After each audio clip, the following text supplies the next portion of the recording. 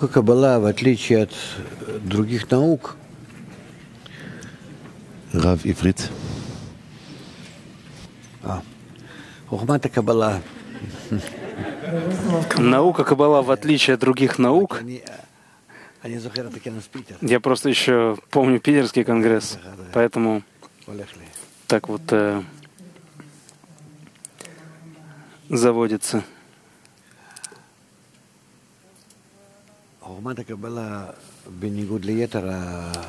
Наука Каббала, в отличие от других наук, исследует самую высокую материю и самую внутреннюю. Это желание, которое находится на уровне Адам, на уровне человека — есть желание на неживом уровне, жив... растительном, животном. Эти желания находятся перед нами здесь, в этом мире. Мы можем их исследовать, э, изучать их, пользоваться ими. И на исследовании их мы строим нашу науку. Но нет науки, которой следует желание на уровне человека, на уровне Адама. Психология э, претендует на то, чтобы коснуться тут и там, но на самом деле это не то. Почему? Для того, чтобы исследовать, что бы то ни было, нам, как исследователям, нужно быть на более высокой ступени, чем то, что мы исследуем.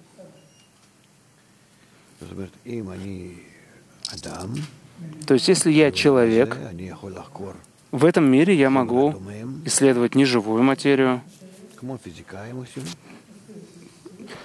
чем занимаются физики. Могу использовать, э, могу исследовать, простите, растительную и животную материю, которую исследуют э, биологи, зоологи, ботаники. И я могу этим заниматься, потому что нахожусь на более высокой ступени, чем эти материи. Но материя на уровне человека, то есть на уровне наших внутренних свойств, Э, ее мы не можем исследовать, находясь в той же плоскости. Поэтому психология, психиатрия, у нас, э, нам там не за что ухватиться по-настоящему, научно говоря. А наука Каббала позволяет нам это сделать.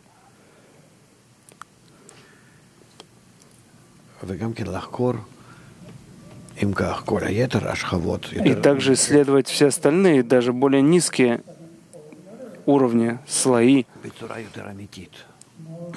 более точным, объективным образом. Потому что мы тогда можем принимать во внимание.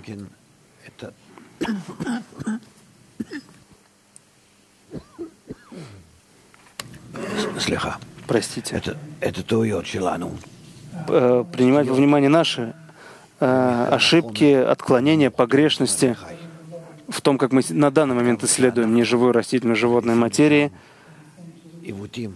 настолько, насколько мы привносим туда ну. искажения, следующие из нашей человеческой природы.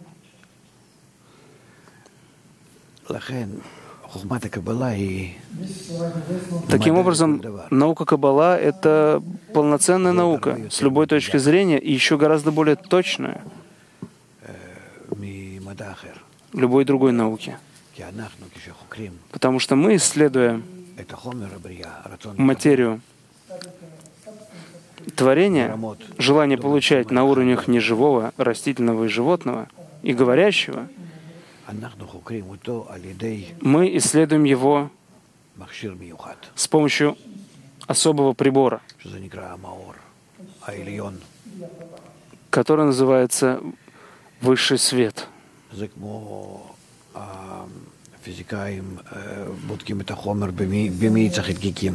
Как физики исследуют материю в молекулярном ускорителе, в ускорителе элементарных частиц,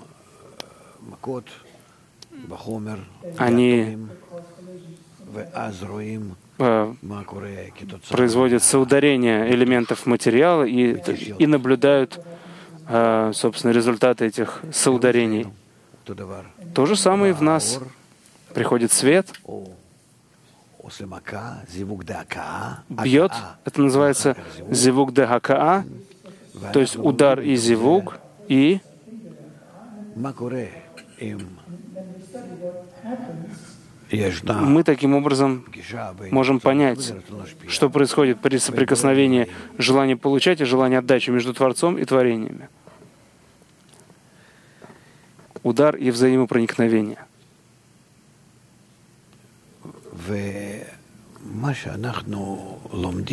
И то, что мы, собственно, изучаем в нашем очень точном, объективном הרבה יותר מכל מדע אחר. исследовании, гораздо в большей мере, чем в любой другой науке, мы находим, יש что רק כוח אחד. существует только одна сила, действующая в реальности.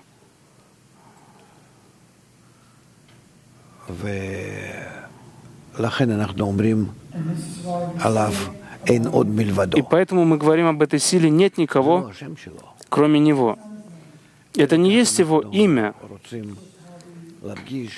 Просто таким образом мы хотим подчеркнуть, что у нас есть только один фактор, одна причина — исследование, которое мы проводим над собой, над всей действительностью, на всех ее уровнях и, и, и во всех ее плоскостях, мы видим, что только высший свет, только он действует и расставляет все по местам.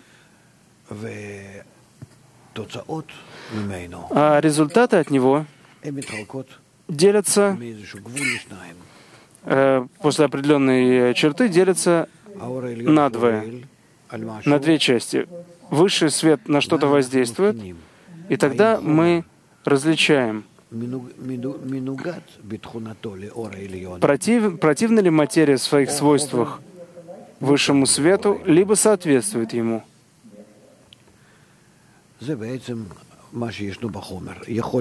Это, собственно, то, что и есть в материи. Способность либо быть в противоположном состоянии, либо в подобном свету.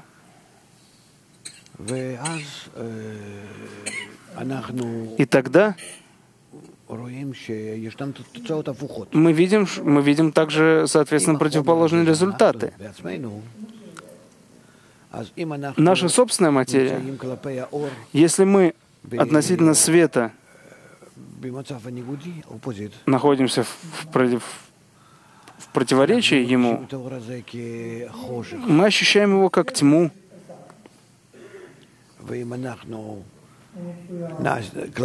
А если мы относительно света подготовили себя и находимся в соответствии ему, ну хоть в чем-то, хоть э, на какой-то процент, мы ощущаем его как добро. В самом свете нет ничего, ни плохого, ни хорошего. Есть только свойство отдачи, любви, наполнить, продвинуть, развить. И все зависит только от кли, от творения.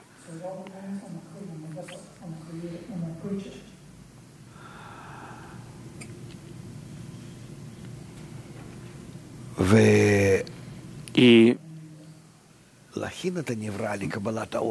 подготовить творение к получению света, это делает тоже свет — Потому что он первый, он начал творение, он начал весь этот процесс, инициировал его, он толкает всю материю к развитию. И э, материя как таковая не способна ни на что.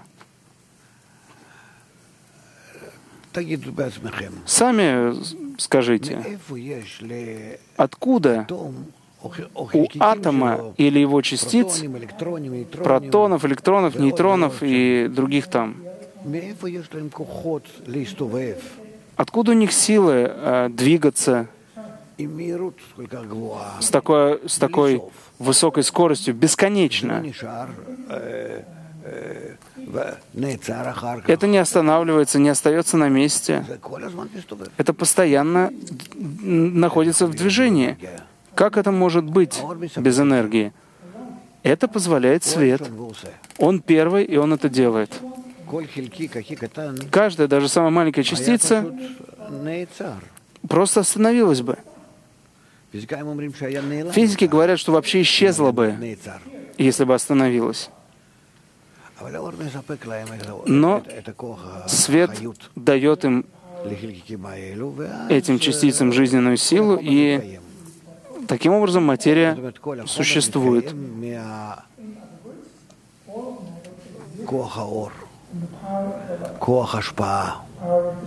Вся материя существует благодаря, благодаря силе света, силе отдачи,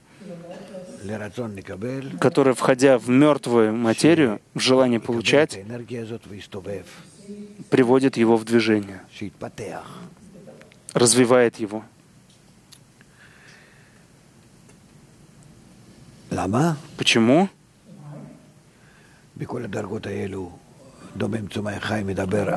На всех уровнях неживом растительным животным, говорящим, материя должна развиваться.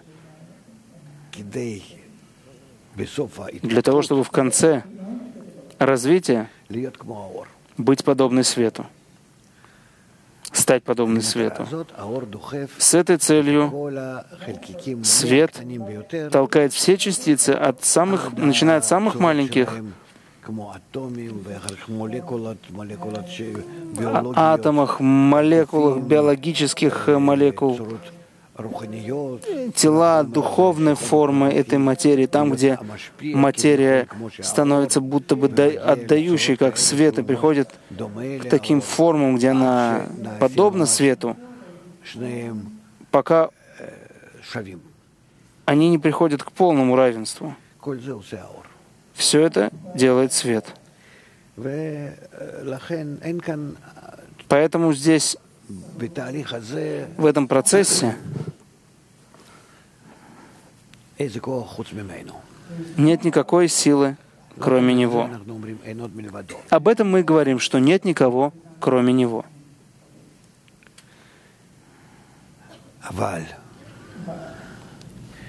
Но эта высшая сила хочет дать творению которая изначально является мертвой материей, как прах. Как сказано, прах ты в прах вернешься. Но свет хочет дать этому праху жизненную силу. Не на уровне, где он будет э, необратим э, невольно развиваться через неживой растительное животное уровни говорящему, а чтобы эта материя развивалась в очень особенном направлении, выше собственной природы,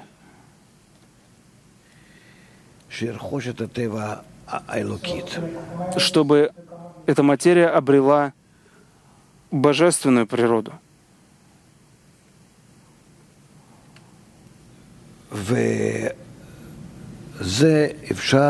И это можно сделать. Это стало возможным благодаря разбиению келим, благодаря тому, что свет испортил то желание, которое он создал, разбил его на огромное количество частей,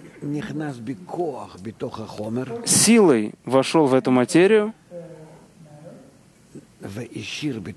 и оставил в этой материи желание получать ради себя, наслаждаться этим, хотеть этого, заниматься только этим.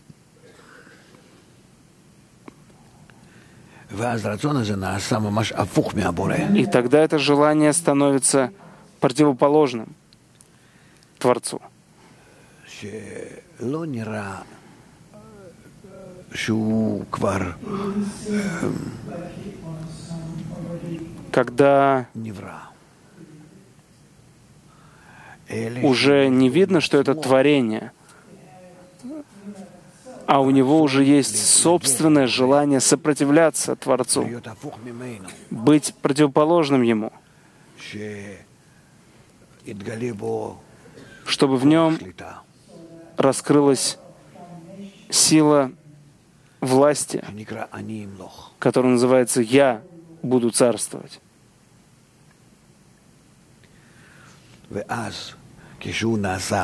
И тогда, когда это желание становится противоположным Творцу,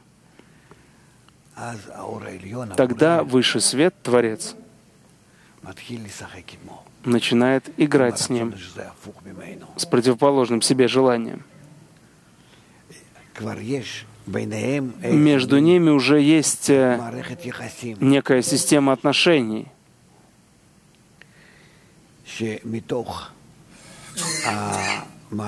когда из этой системы, которая развивается, элементы, которые воздействуют друг на друга взаимно, творение начинает понимать, что оно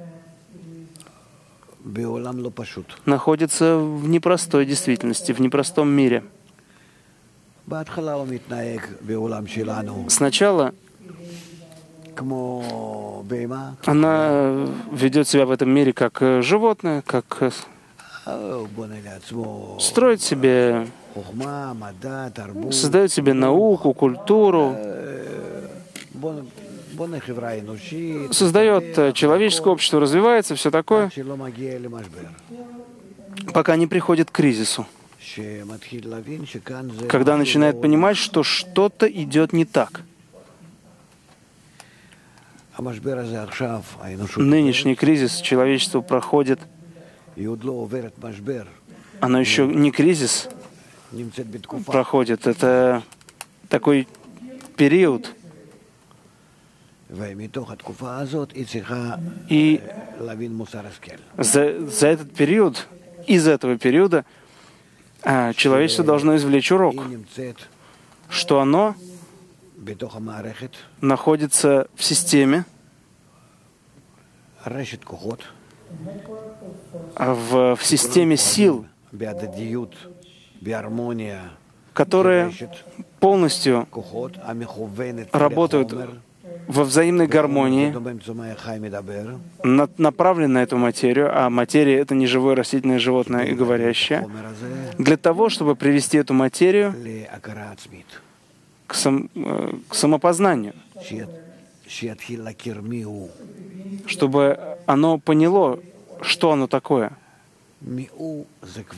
А кто он? Мы видим, что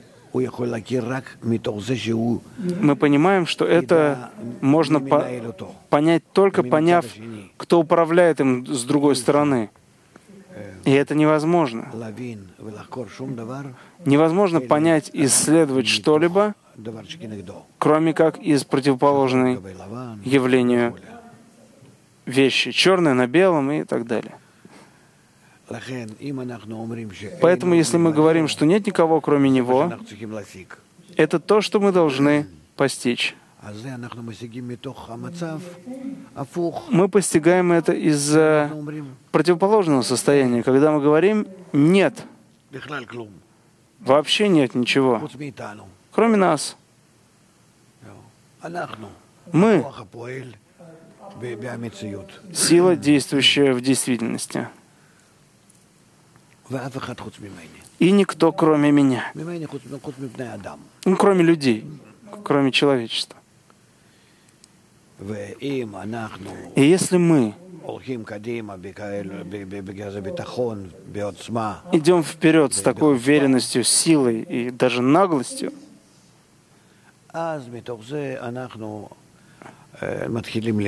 мы начинаем уже на своей плоти ударами, под ударами, понимать, что что-то не получается,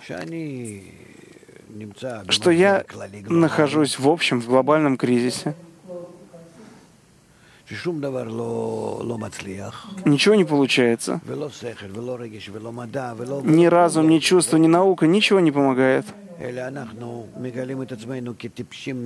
Мы только все больше и больше понимаем, что мы такие глупые, что не способны даже свою собственную жизнь прожить нормально, что мы хуже животных, которые, ну, как-то ладят друг с другом, а Вся наша жизнь посвящена буквально тому, чтобы испортить всю жизнь близким, далеким, и всей наукой и силы пользуемся только для разрушения.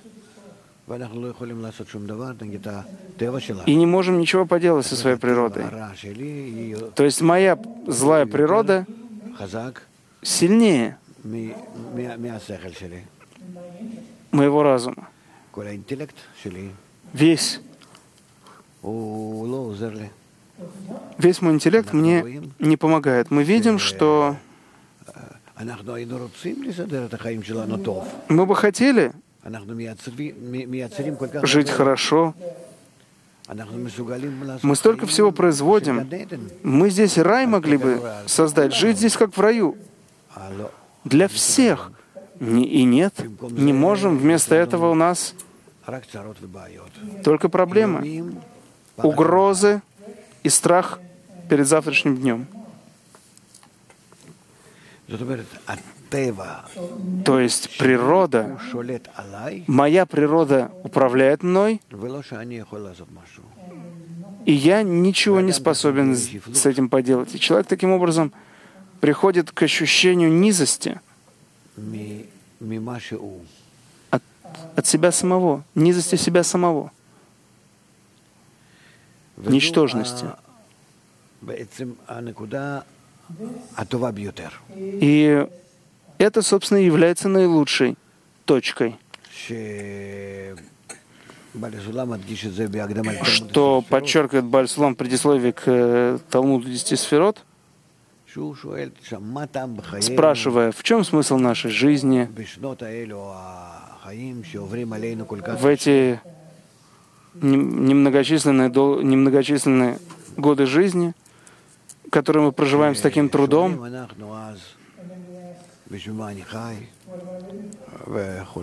что заставляет нас опять же задаваться вопросом «Зачем?». И, то есть мы уже, собственно, из, со, из своего разума остаемся с этим единственным вопросом. И он говорит, что в конечном счете этот вопрос должен привести нас к необходимости раскрытия Творца. Как сказано в Торе, если у человека появляется вопрос, зачем он живет, в чем смысл его жизни, то в конечном счете он приходит к решению, что есть что-то выше, выше него. И тот факт, что я не могу жить так, как живу, есть что-то надо мной, даже моя природа выше, выше меня. Поэтому решение в том, чтобы прийти и увидеть, что добр Творец, что мы действительно можем прийти к э, раскрытию Творца, но по необходимости. И тогда мы раскрываем, насколько Он действует во всем — и весь путь, что мы прошли, мы прошли только для того, чтобы получить удары и понять, что у нас нет иного выбора, кроме как познать эту силу, действующую в, в творении. Мы творение, нами управ, мы управляемы, а Он управляет.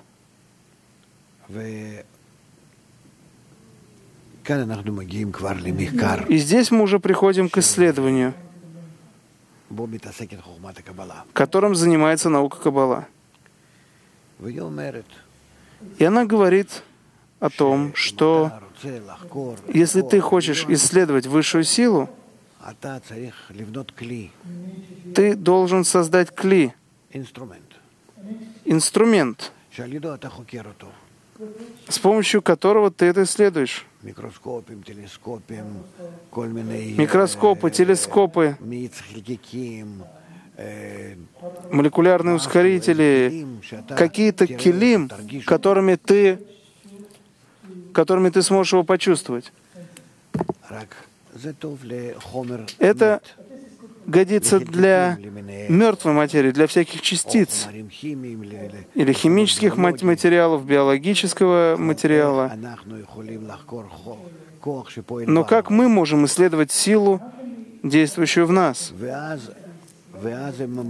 И тогда они рекомендуют нам, каббалисты, создать миньян, Десять человек, которые стараются прийти к взаимному объединению, к совершенному взаимному объединению. То есть они формируют в себе свойства света настолько, насколько они на это способны и настолько, насколько не способны. Но эта форма, которую они хотят построить для себя как единое тело,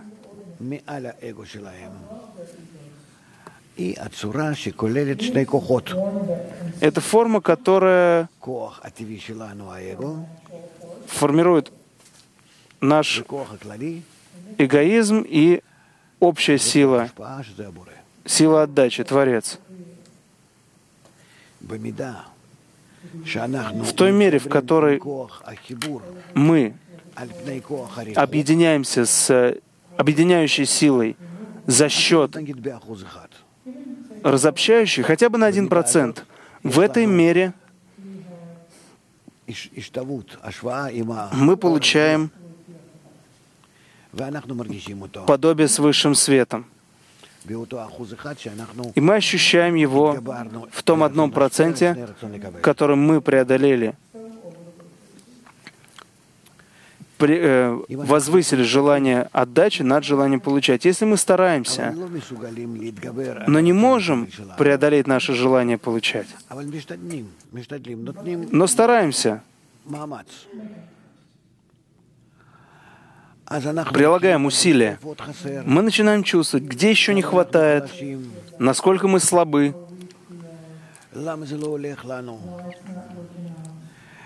Почему это не получается? И тогда в нас развивается крик, просьба, молитва, чтобы свет нам помог, чтобы дал нам сил, а мы объединимся.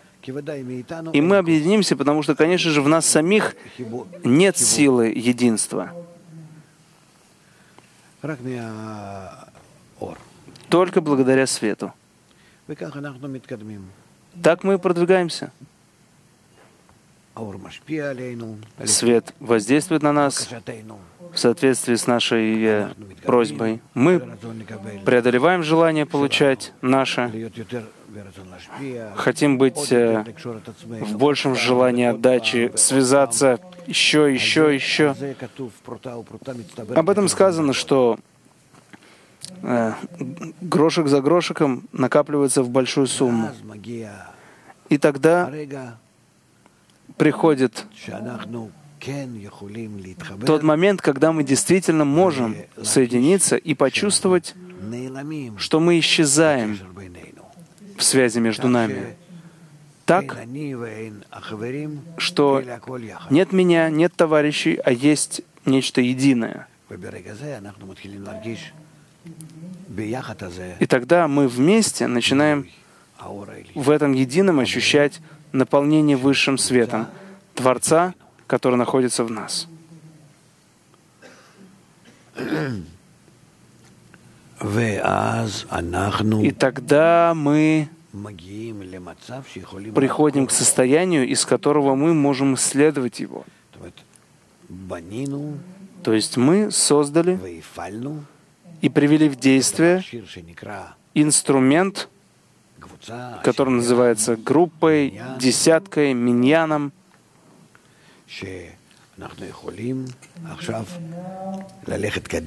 с помощью которых мы сейчас можем идти вперед, выстраивать себя в самых разных формах связи, все больше и больше и больше. И Творец в соответствии с силой нашей связи будет раскрываться все больше и больше. И, конечно же, свет, дающий свет тоже будет пробуждать в нас более внутренние формы эгоизма. И мы почувствуем э, сопротивление, падение и помехи различные.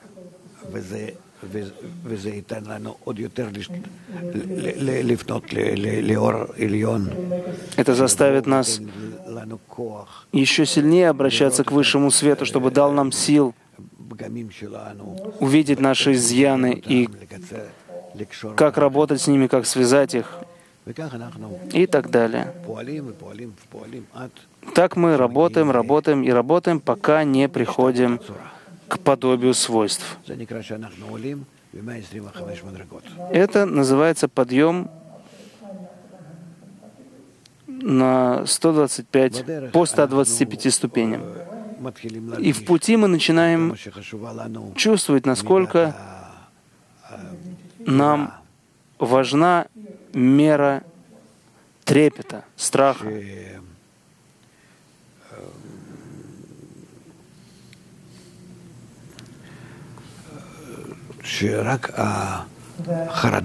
Только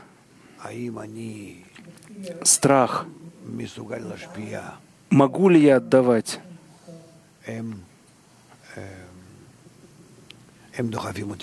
Только этот страх толкает меня вперед.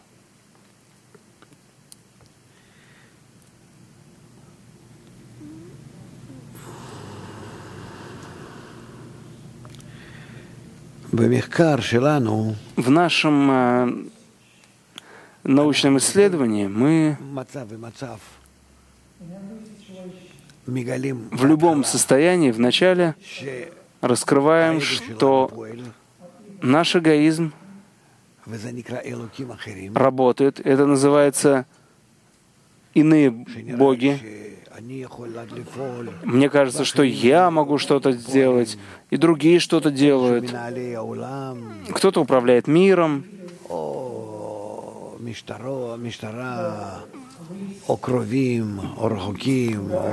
власти, близкие, может быть, даже друзья, за, против. Очень много факторов. Отрицательных, положительных. И каждый раз, когда я получаю новые силы, я вижу, что это не так что я неправильно смотрел. И поэтому думал, что это он или она или они что-то делают. Но если эта ситуация мне проясняется, я вижу, что Творец движет ими. А сами они не понимают вообще, что происходит. Это Он их двигает для того, чтобы, например, воздействовать на меня. То есть мы снова раскрываем, что нет никого, кроме Него. И так в любом состоянии. Когда я в конечном счете раскрываю, что Нет передо мной никакой иной силы, кроме Него. И даже я сам, думаю, что я сейчас работаю, допустим, вам о чем-то рассказываю, и вы тут сидите, слушаете, понимаете, соглашаетесь или нет, что у нас, у меня и у вас есть какое-то какая-то независимость, свобода мыслей, э, желаний, действий. Все это ложь. Всем управляет Творец. А зачем нам смотреть на это иначе? Для того, чтобы исправить свои килим, наши способности и увидеть, что нет никого, кроме Него.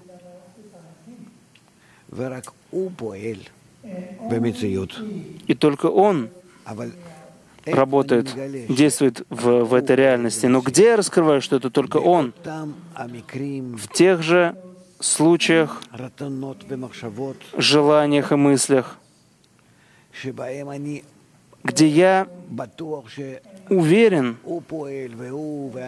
что это он, и я, и, и она, и...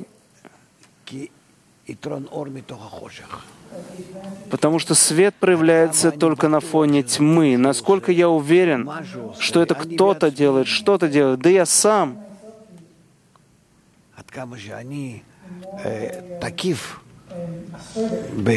Насколько я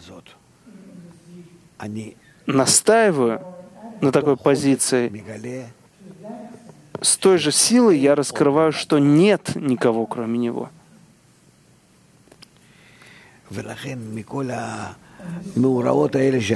Поэтому все те случаи, которые я переживаю за и против, за и против, я начинаю раскрывать Творца во всю толщу своего желания получать и во всех проявлениях вширь, и во всю силу желания вглубь.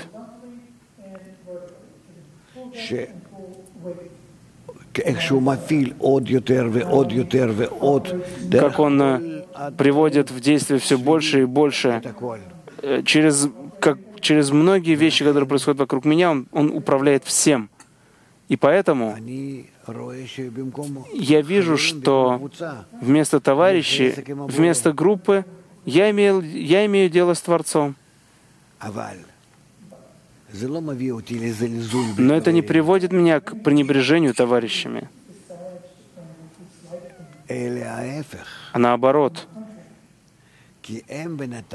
Потому что они тем временем пришли к подобию свойств с Творцом. Поэтому я отношусь к ним как к Нему. И это называется от любви к творениям к любви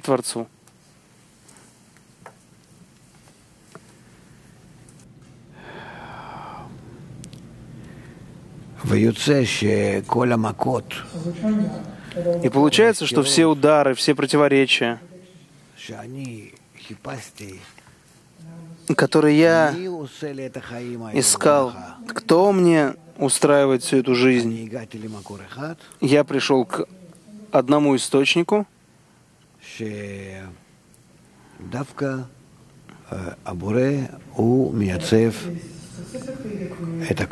когда именно Творец, Он и есть формирующий и определяющий всю действительность.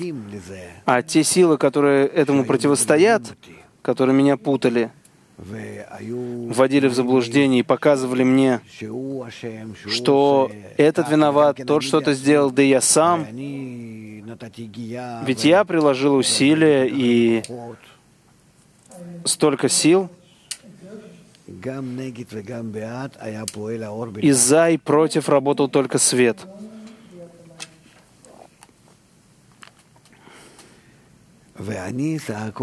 А я всего лишь наблюдатель,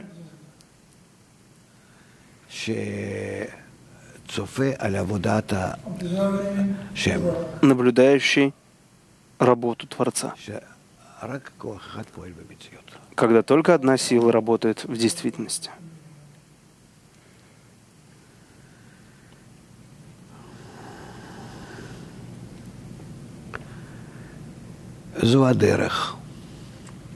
Таков путь. И если мы продвигаемся по жизни ударами и ищем, как их избежать, это путь страданий. Он очень долгий и тяжел, и тяжелый. Потому что я хочу убежать от того, что делает со мной Творец. Я как будто бы борюсь с ним. Поэтому я здесь никогда ничего не заработаю. Но если я не забываю о том, что имею дело с ним, я ко всем помехам отношусь по-другому. Как? Не аннулируя помехи, а готовлю себя так, что в подобие свету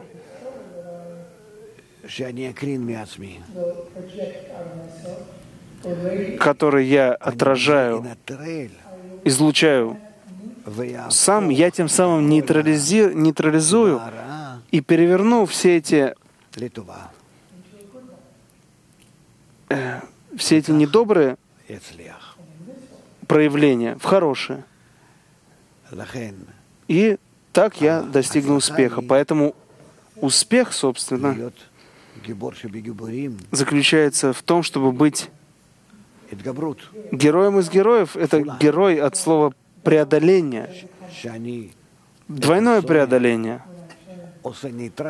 Я сначала нейтрализую ненавистника, а потом превращаю его в своего партнера.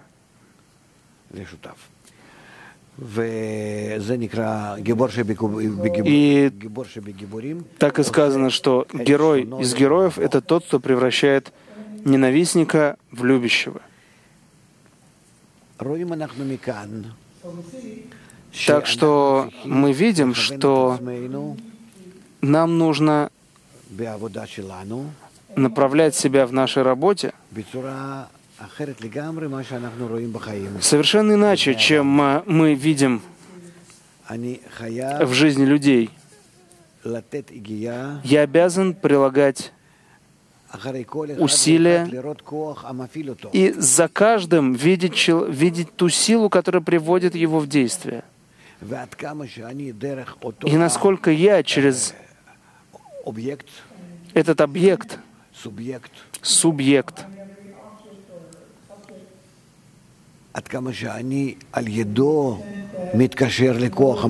насколько я благодаря ему связываюсь с той силой, которая приводит его в действие, и уже имею дело с, и с самой действующей силой, а не с, а не с человеком. Как? Благодаря тому, что я стараюсь соединиться с человеком для того, чтобы быть ближе к той силе, которая его приводит в действие, которая им управляет. И таким образом я собираю все человечество в сеть, которая соединена со мной, и раскрываю общую силу Творца, свет бесконечности, который уже раскрывается во всей Малхут, во всем том кли, который я в конечном счете присоединяю к себе. Ну, Здесь есть очень много такого, о чем сразу не расскажешь, потому что это всего лишь начало пути, и весь подъем по этим ступеням, и это также включает, это включает начало, подъем и конечное состояние тоже. Поэтому все то, что мы пройдем, раскроем, должно быть только в этом направлении, где в любом состоянии, в любой детали, которая находится передо мной,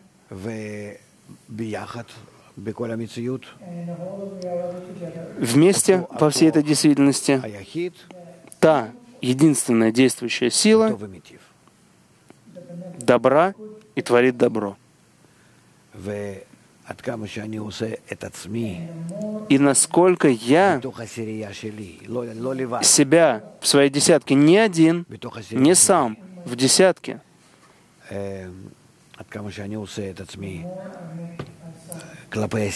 насколько я относительно десятки делаю себя, делаю, э, привожу себя к свойству «нет никого, кроме Него», к доброму и творящему добро, настолько я продвигаюсь к раскрытию. Такова наша работа.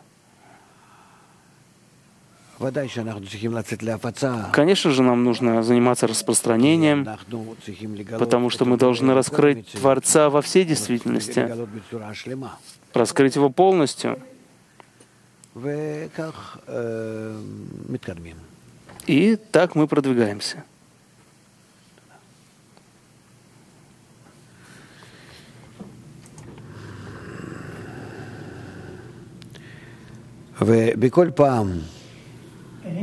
И каждый раз.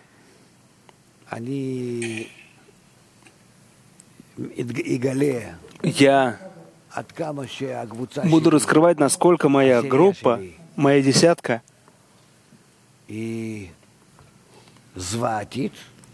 Ужасно,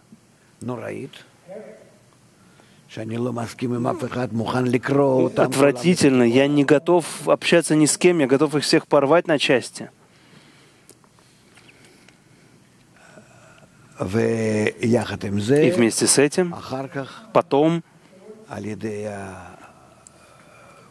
с помощью света, возвращающего к источнику, мы придем к состояниям, где нет предела единству между нами.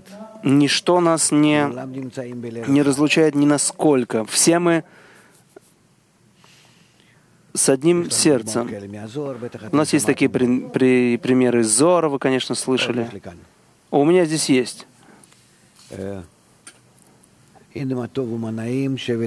Как хорошо и приятно, когда товарищи, когда братья сидят вместе. Это товарищи, когда они сидят вместе, не расстаются, не расстаются друг с другом. Сначала они кажутся как люди, воюющие друг с другом которые хотят убить друг друга. Это серьезно. А потом возвращаются к любви и братству. Творец, что о них говорит? Хорошо, как братья сидят вместе. Гам Яхад вместе — это значит вместе со Шхиной. Место для раскрытия Творца, общее место, общее желание товарищей, общее сердце. И не просто, а Творец слушает то, что они говорят, и наслаждается, и радуется им. Это называется «все прегрешения покроют любовь». Раскрыть все противоположные вещи, а потом над ними любовь. Потому что свет проявляется только на фоне тьмы. Иначе мы не почувствуем силу единства, не почувствовав сначала силу разобщения.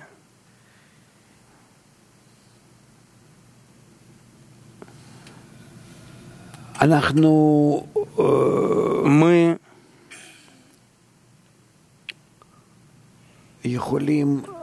можем увидеть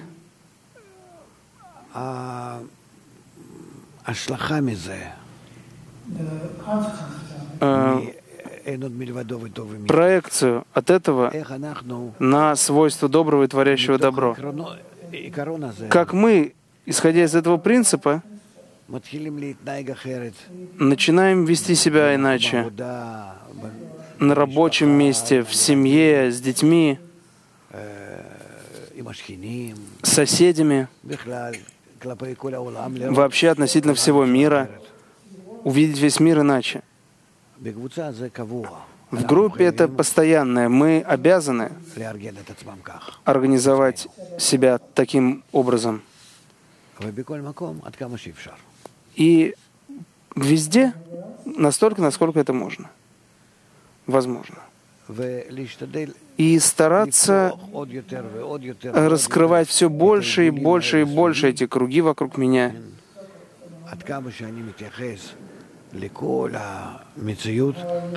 насколько я отношусь ко всей этой действительности так, что именно Творец управляет всем и приводит все к окончательной цели. До скольки у нас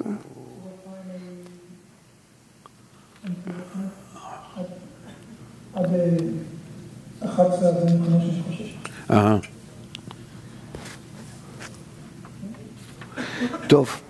Хорошо. Если так, перейдем к вопросам.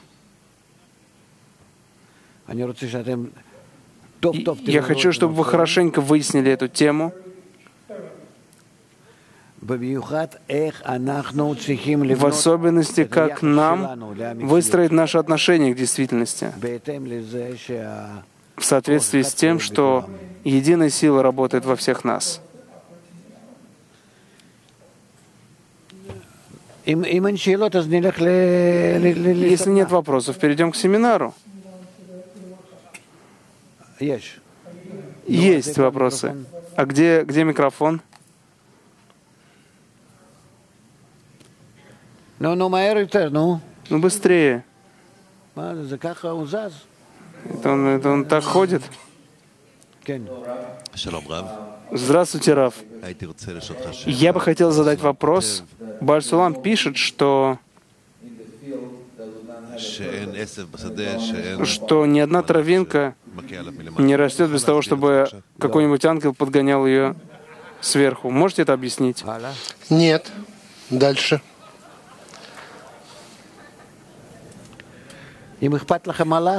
Если тебе важен ангел, то, по-видимому, ты не в правильном месте. Мне важен я, я, я и моя жизнь. Да.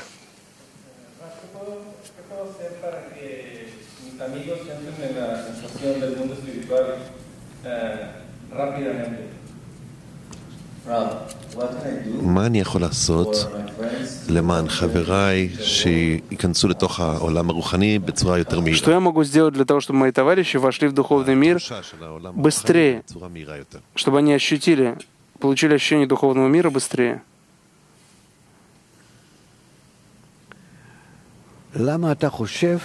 Почему ты думаешь, что они еще не в духовном? Это ты видишь их таким образом, что они сидят сейчас вокруг тебя в круге и не знают, и не понимают, и не чувствуют ничего духовного. Это тебе так видится. Но они сами находятся в окончательном исправлении. Если ты хочешь попросить для них, то ты можешь просить для них. Но именно потому, что ты так видишь, а не то, что они сами такие. Кроме человека, все, что он видит, это, но он видит так а, в силу того, что каждый судит в силу своих недостатков. Потому что если ты исправишь свои внутренние свойства, ты придешь к Гмартикуну. Если ты исправил свои внутренние свойства, и тогда, когда ты приходишь к окончательному исправлению, ты видишь, что все находятся в окончательном исправлении. Иначе как ты можешь прийти к окончательному исправлению? Это значит, что мир всегда представляется человеку в соответствии с его уровнем.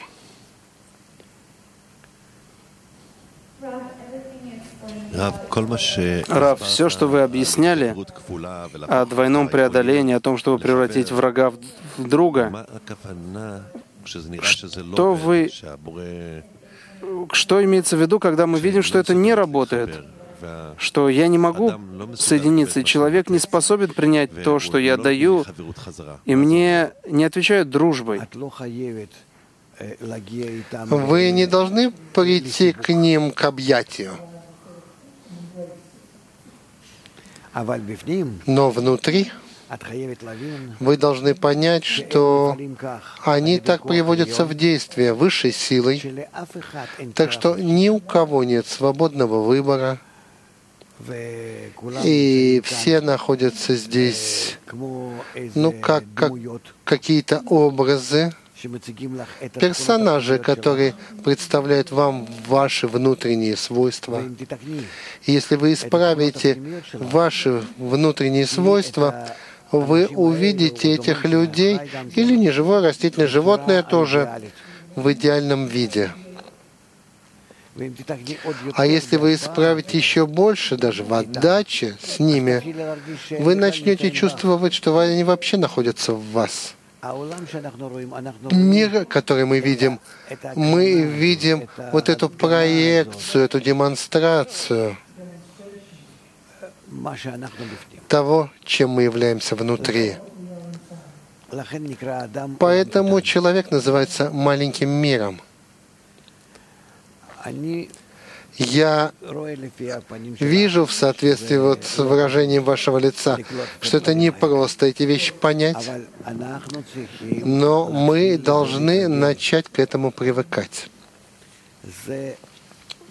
Это, это это разгоняет а, всякие предрассудки, всякую мистику, всякие учения.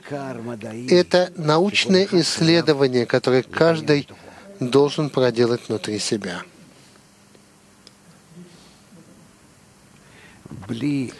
Без того, чтобы постараться держаться за это, не будет у вас связи с высшей силой. Потому что все это исходит из этой одной силы, которая управляет всем. Вот одна сила, или есть у меня 7 миллиардов разных сил передо мной, включая меня. Нет, только Он. А если только Он, как я должен относиться к этим марионеткам, куклам. Ну, как э, его представителям. В конечном счете я должен относиться к ним так вот, как к нему. Но они же такие ужасные. Они обманщики, воры, убийцы. Уа! Ни одно лицо умного, интеллигентного, приятного. Что я буду делать? Это говорит на то, насколько я испорчен. А иначе вы бы любили их, ну, я не знаю, лю... мировой любовью. Да. No? Здравствуйте, Раф. Здравствуйте, мировой Кли. Что то, что он э, добр творит добро, это неотъемлемо от ощущения страдания. И почему мир страдает, это понятно. Но почему, например, как Раби Акива, будучи одним из величайших каббалистов в истории, его жизнь была, э, ну, его жизнь закончилась таким ужасным образом. Какова причина страданий каббалиста? Вы задаете вопросы, которые вообще даже не затрагивают вас и не касаются. Один об ангелах, другой о Раби Акиве. Мы не понимаем человека, который находится на таком уровне. В первую очередь, уровень Раби Акива, который был выше э, всех телесных желаний. Это вообще на него даже не подействовал на него. Тем, что ему, в общем-то, казнили его, казнили его тело. Теперь, почему это должно так быть? Потому что это, кстати, объясняется, что этим он исправил как это сказать, исправил а, прегрешение Иосифа. Но это вещи очень высокие. Это в системах миров. Это мы как-то еще будем это изучать. А вы когда будете изучать материал, будете изучать книги, вы несколько раз натолкнетесь на эти объяснения. Не надо спрашивать о чем-то, что выше нашего уровня. Мы видим даже, насколько мы малые и не находимся в постижении, но только чуть-чуть там слушаем какие-то вещи, которые мы даже не понимаем, и насколько наш ум а, так и все равно больше развит, чем у простого человека на улице. Тому я не могу объяснить даже, э, как я думаю, как я мыслю. А тут вы говорите о ступенях таких, но разница между небом и землей. Но это невозможно объяснить. Поэтому я рекомендую написано, воспитывая отрока его путями. Относитесь каждый к себе же, как к ребенку, которого вы сейчас учите. Не, дайте, не давайте ему больше того, что ему нужно для того, чтобы продвигаться, а не путаться. Ну, как он спросил меня об ангеле. Он что, знает, что такое ангел? Я не смогу объяснить ему, что такое ангел. Для этого надо его чувствовать. Наука Каббала — это невозможно передать просто так, на словах. Вы видите, что сделали истории? Сколько всего. Потому что она написана вот таким вот образом. Так вот, мы идем последовательно, чтобы создать кли из себя, десятку. И в ней э, то, что раскроем, это мы будем знать. И каждый раз будем поднимать и поднимать себя, и будем знать и чувствовать, и сможем исследовать еще более высокие ступени. Да-да. У меня вопрос относительно группы, относительно, э, относи, группы относительно десятки. В последнее время мы говорили о том, что Творец должен раскрыться в группе. Сейчас мы говорим о десятке. Так э, как же Творец должен раскрыться, в десятке или в группе? Особенно если например, э, группа или виртуальная группа или десятка могут быть виртуальными. Я запутываюсь. Вы можете это пояснить? Не важно мне группа физическая или группа виртуальная. Есть там только мужчины или женщины, смешанные. Желательно, конечно же, чтобы были отдельно мужчины, отдельно женщины. Я должен прийти к состоянию, когда я соединен сердцем и душой с еще девятью человеками. И у нас есть общая цель. И мы понимаем друг друга. И я по-настоящему забочусь о об объединении между нами. И это для меня важнее, чем моя жизнь. Потому что моя жизнь, ну чего, я и так умру. Ну, через э, сто тысяч лет там все помрем. Ну, весь земной шар. Мы не думаем так особенно далеко. Ну, о чем мы, собственно, так волнуемся? Сколько-то лет вперед или назад?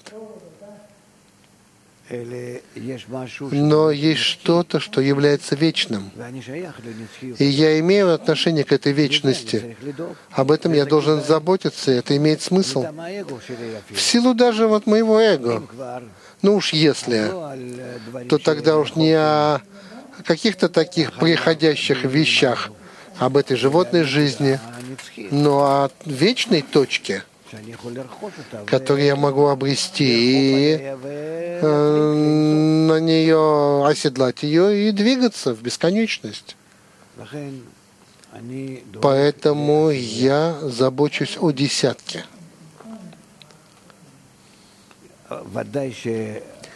Конечно же, важно, чтобы она была физической. Ну уж если нет выхода, то есть Творец поместил меня в такую состоя... ситуацию. Ну, нету у меня. Я живу там где-то а, на леднике, на льдине, да, у полярного круга, там за полярным кругом, на Северном полюсе, вокруг меня нет никого. Так я нахожу что-то, что возможно.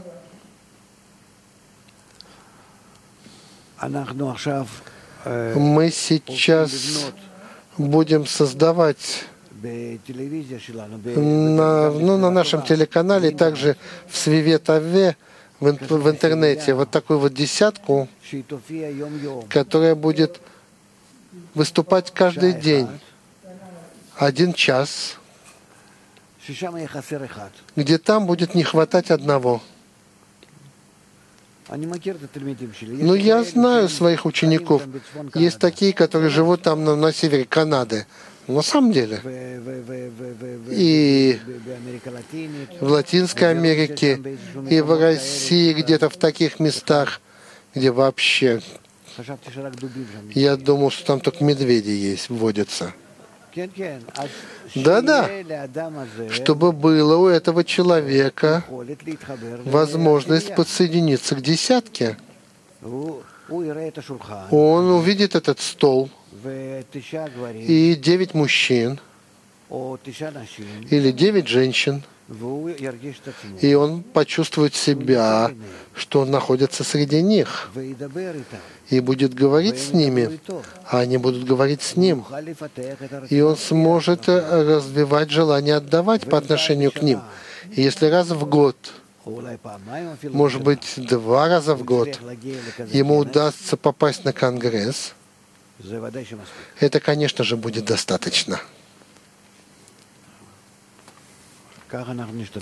Так вот мы постараемся сделать. Теперь в группах, где есть там группа, а в группе есть несколько десяток.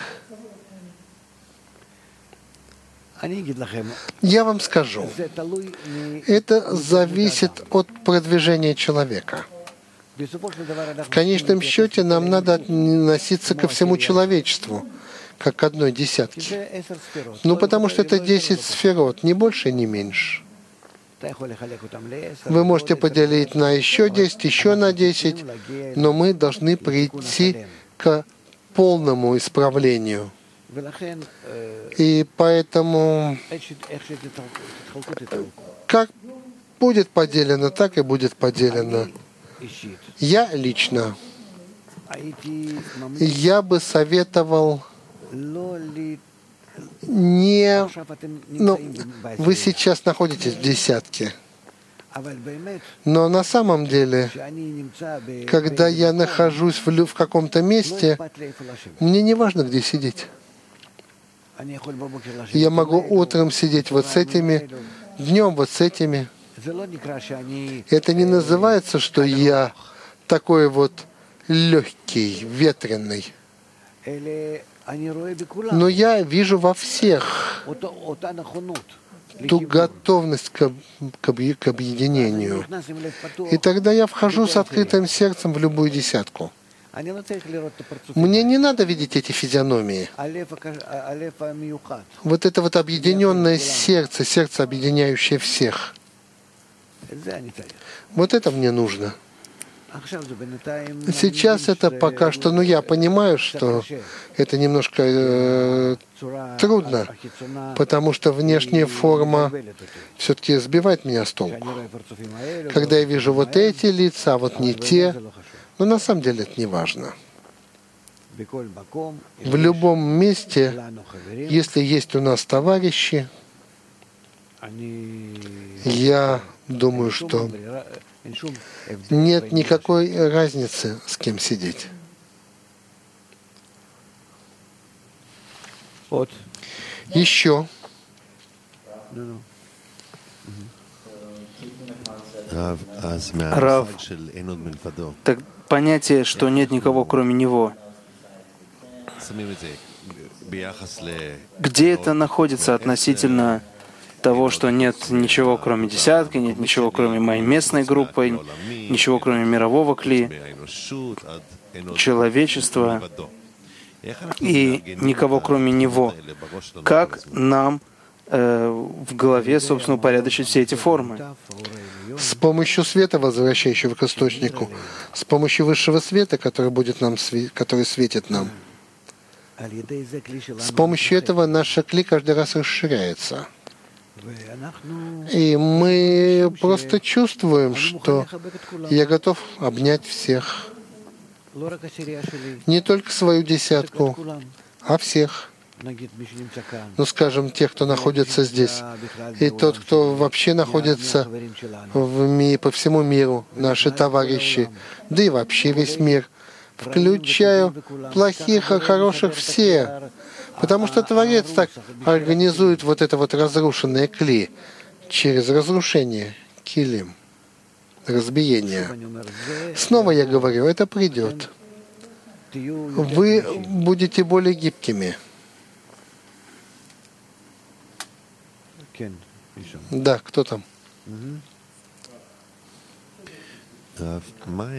Рав, Какая разница между правильной работой со свойством «нет никого, кроме него» и просто психологическим трюком, который помогает человеку совладать с сложностями и преградами?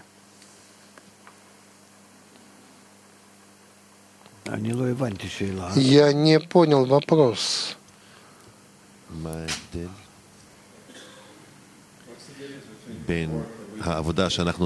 Какая разница между той работой, которую мы делаем здесь как каббалисты, и идеей «нет никого, кроме него», и любым другим психологическим трюком. Я не знаю психологических трюков. Я знаю, что мы находимся сейчас в ложном восприятии реальности. А каббалисты говорят нам, что на самом деле происходит. Я сейчас снимаю очки. Я один в мире. Я один в мире. Ну, по-настоящему. Нет никого. Так хорошо. Я могу делать все, что мне вздумается.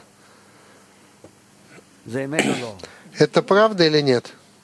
Ну, каббалисты говорят, тебе надо знать, что происходит в настоящем виде, в истинном виде, по сравнению с тем, что ты представляешь себе.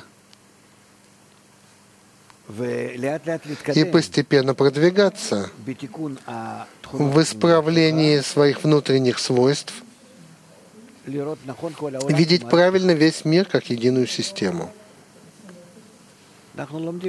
Мы это учим из темы восприятия реальности. То, что весь мир, все, что то я вижу снаружи от себя, находится на самом деле внутри меня, внутри моего желания. Но это уже не ограничено моим телом или моим мозгом. Но я и сам о себе не знаю, кто я. Это не имеет отношения к, к трем вот этим материальным осям материального мира, измерениям. Нет тут никакого ложного восприятия.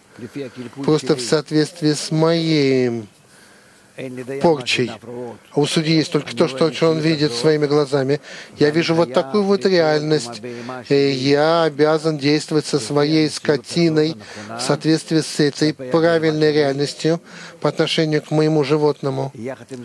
Вместе с этим я должен стремиться раскрыть в человеке, который во мне, истинную реальность для него на совсем другом уровне и действовать там ну, с, с духовной реальностью, где есть все там, как нет никого, кроме Него, добрый, несущий добро в Малхот бесконечности. Эти две вещи не перечеркивают друг друга. Это два уровня восприятия реальности. То, что я воспринимаю в пяти моих телесных органах ощущений, зрение, слух, обоняние, тактильное ощущение, вкус, и в пяти духовных органах ощущений, кетер, хохмабина, зарампин, малхут. Вы вкладываете чуть-чуть побольше в это мысли, будет путаница, но постепенно все уляжется, и две эти плоскости станут вам ясны. Животное воспринимает то, что воспринимает. Человек воспринимает то, что человек воспринимает. Да.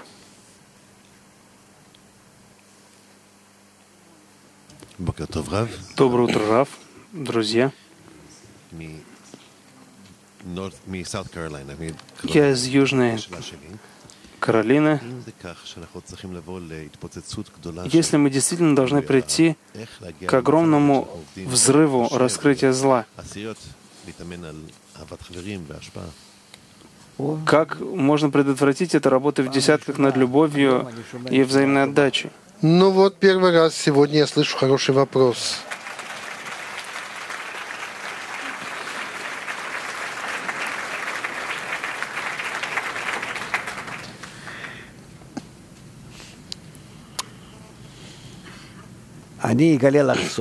Я открою вам секрет.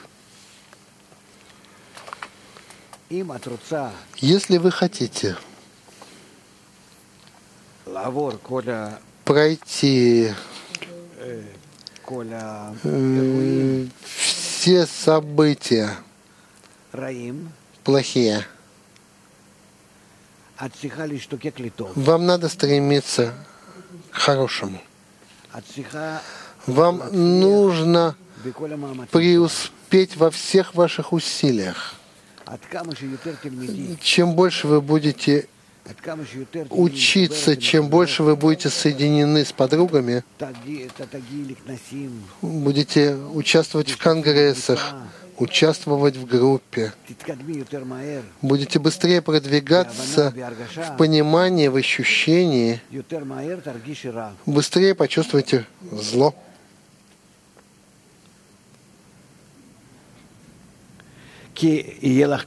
Потому что у вас будет клей, сильный клей, с помощью которого вы сможете раскрыть зло. Но это зло вы раскроете в свете добра. Это как человек, который обнаруживает, что есть у него какая-то болезнь. Но есть у него уже в руках лекарство, чтобы излечить ее. Потому что болезни у нас на все сто процентов. Все наше тело — это одна болезнь. А раскрыть их самым лучшим образом. Если мы соединяемся и объединяемся больше, учимся больше, распространяем больше, когда у нас есть хорошая сила, сила добра в руках, и тогда раскрываются все, все разбиения между нами, что все мы, только все сто процентов это зло то тогда в том свете, который вы обрели, вы начинаете видеть зло для того, чтобы исправлять его. При этом тот, кто не соединяется, не объединяется, не учится, не распространяет, он не готов к раскрытию зла. Но зло должно раскрыться. Не в том, конечно, темпе, как он готовит себя, то есть в ускоренном темпе, но раскрывается постепенно, как всему человечеству это раскрывается. Но даже если раскрывается чуть-чуть и медленно, человек не готов к этому. И тогда для него раскрытие зла какая-то огромная беда несчастье. И поэтому он действительно оказывается в беде. Мы это видим, как страдает человечество.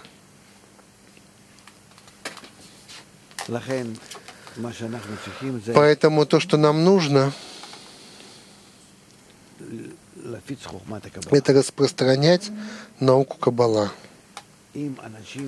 Если люди будут знать, как устроена система, в которой мы находимся, как мы приводимся в действие с помощью высшей силы, как она раскрывается перед нами, как мы можем сформировать себя в десятках и начать управлять нашей жизнью, мы сами — все то зло, которое должно раскрыться, особенно сейчас, в ближайшие годы, человечеству, раскроется в свете, в хорошем свете. И тогда мы увидим мир хороший. Мы сможем говорить по радио, по телевидению, в средствах массовой информации о раскрытии зла и принимать их, преобразовывать в добро. И люди будут чуть-чуть, начнут уже слышать и чувствовать, где они находятся. К этому мы должны прийти. А иначе люди, которые раскроют настолько зло, начнутся мировые волны, начнутся беды и несчастья, самоубийства, такие удары, ну, грабеж, просто грабеж, грабеж. Надо постараться как можно быстрее распространять правильное отношение к тому, что происходит.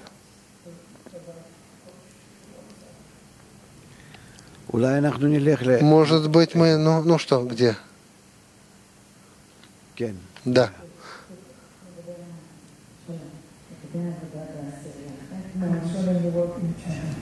Говоря о работе в десятке,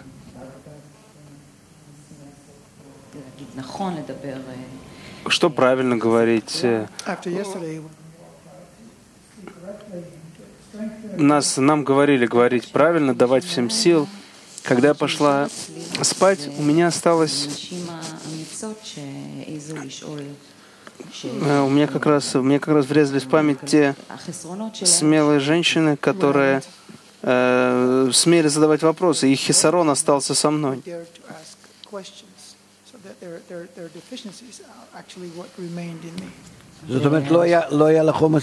Это значит, что вы не могли спать?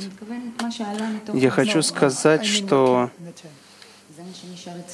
то, что поднималось в десятки, это действительно занимало меня всю ночь.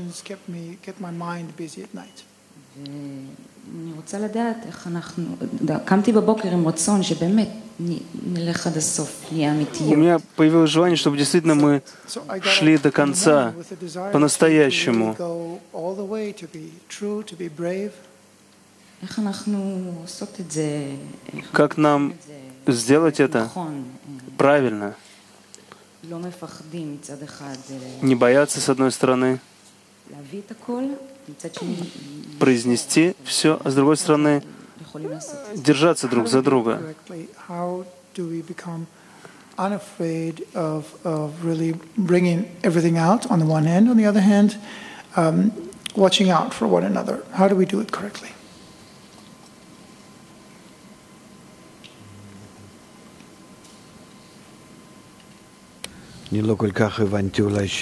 Я не очень-то, может быть, понял вопрос. Как мы не боимся раскрыть правду в десятке?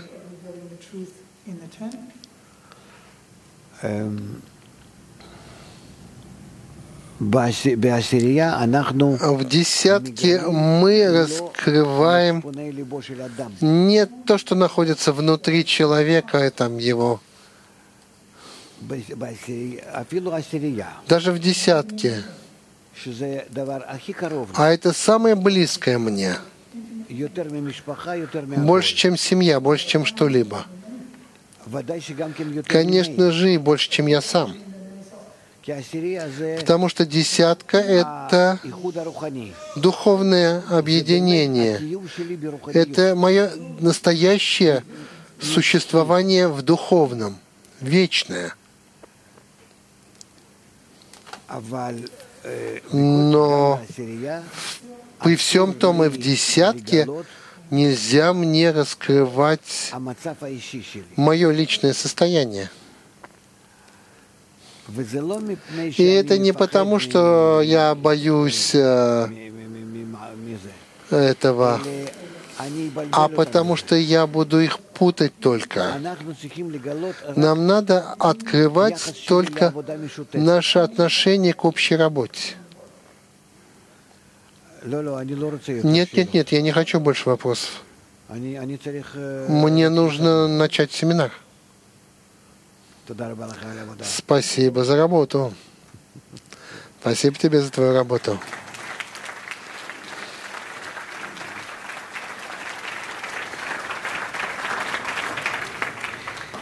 Так вот, поэтому мы говорим в десятках о том, что мы должны делать по отношению к центру группы, по отношению к объединению, но не мои личные усилия.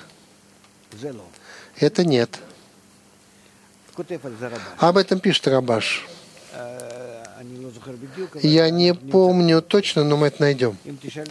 Если вы меня спросите, то я вам потом пришлю э, источник. И поэтому мы сейчас заходим в семинар. Ну, садитесь как на семинаре, но...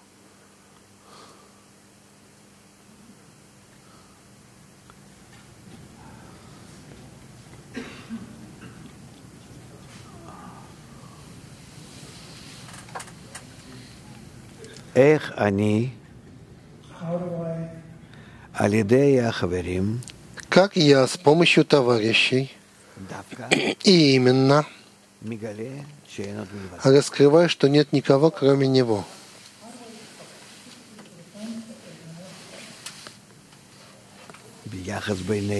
В отношениях между нами, в разговорах, в действиях, во взаимном влиянии. Как как именно с помощью товарищей это раскрывается? То, что нет никого, кроме него.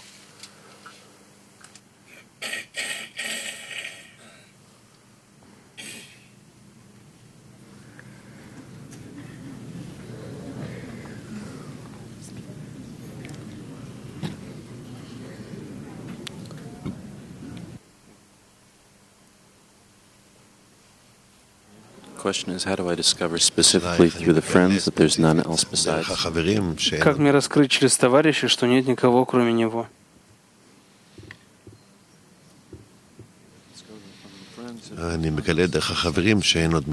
Я раскрываю через товарища, что нет никого, кроме него, через их красоту в работе, через их красоту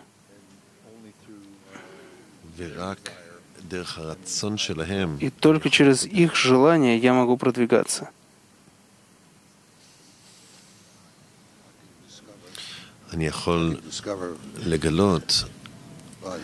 Я могу раскрыть через усилия, через любовь к товарищам,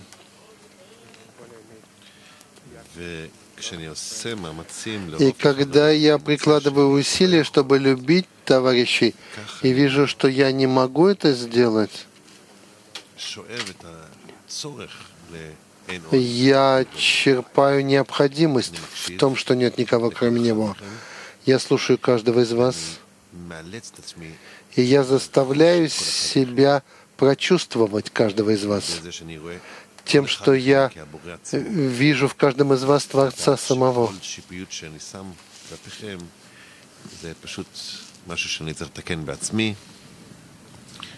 Когда вижу в товарище то, что я должен исправить сам,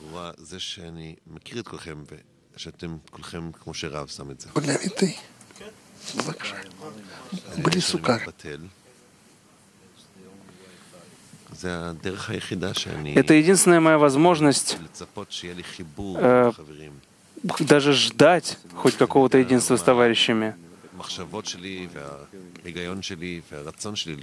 Я чувствую разумом тем, что мне нужно быть включенным в группу. На семинаре в особенности подразумевается то, что я стараюсь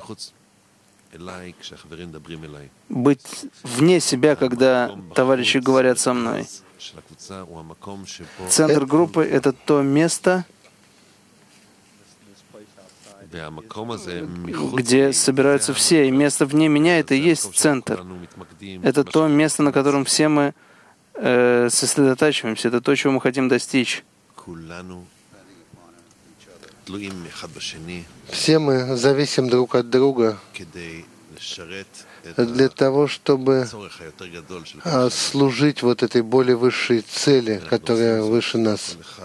И мы каждый делаем это тогда, когда мы находимся снаружи от группы и представляем это Творцу.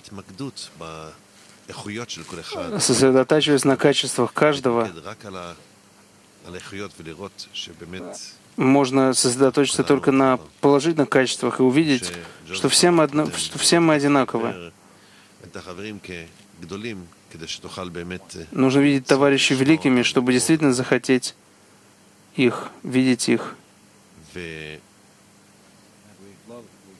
Мы можем любить их благодаря тому, что мы в каждом из них будем видеть Творца.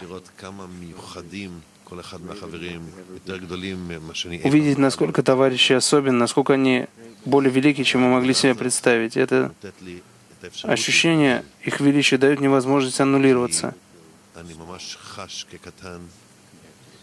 Я чувствую себя таким маленьким по отношению к ним. Товарищи великие, а я вообще настолько благодарен тому, чтобы быть среди них. А, каждый отдельно чувствует себя маленьким, понимаем, что мы находимся рядом с великими. Так что каждый из нас маленький, как уже было сказано. Это, в общем-то, раскрывает величие каждого из нас, потому что мы окружены величайшими людьми поколения. И как мы раскрываем то, что нет никого кроме Него, я обязан участвовать вместе. С общим намерением, и тогда мы сможем.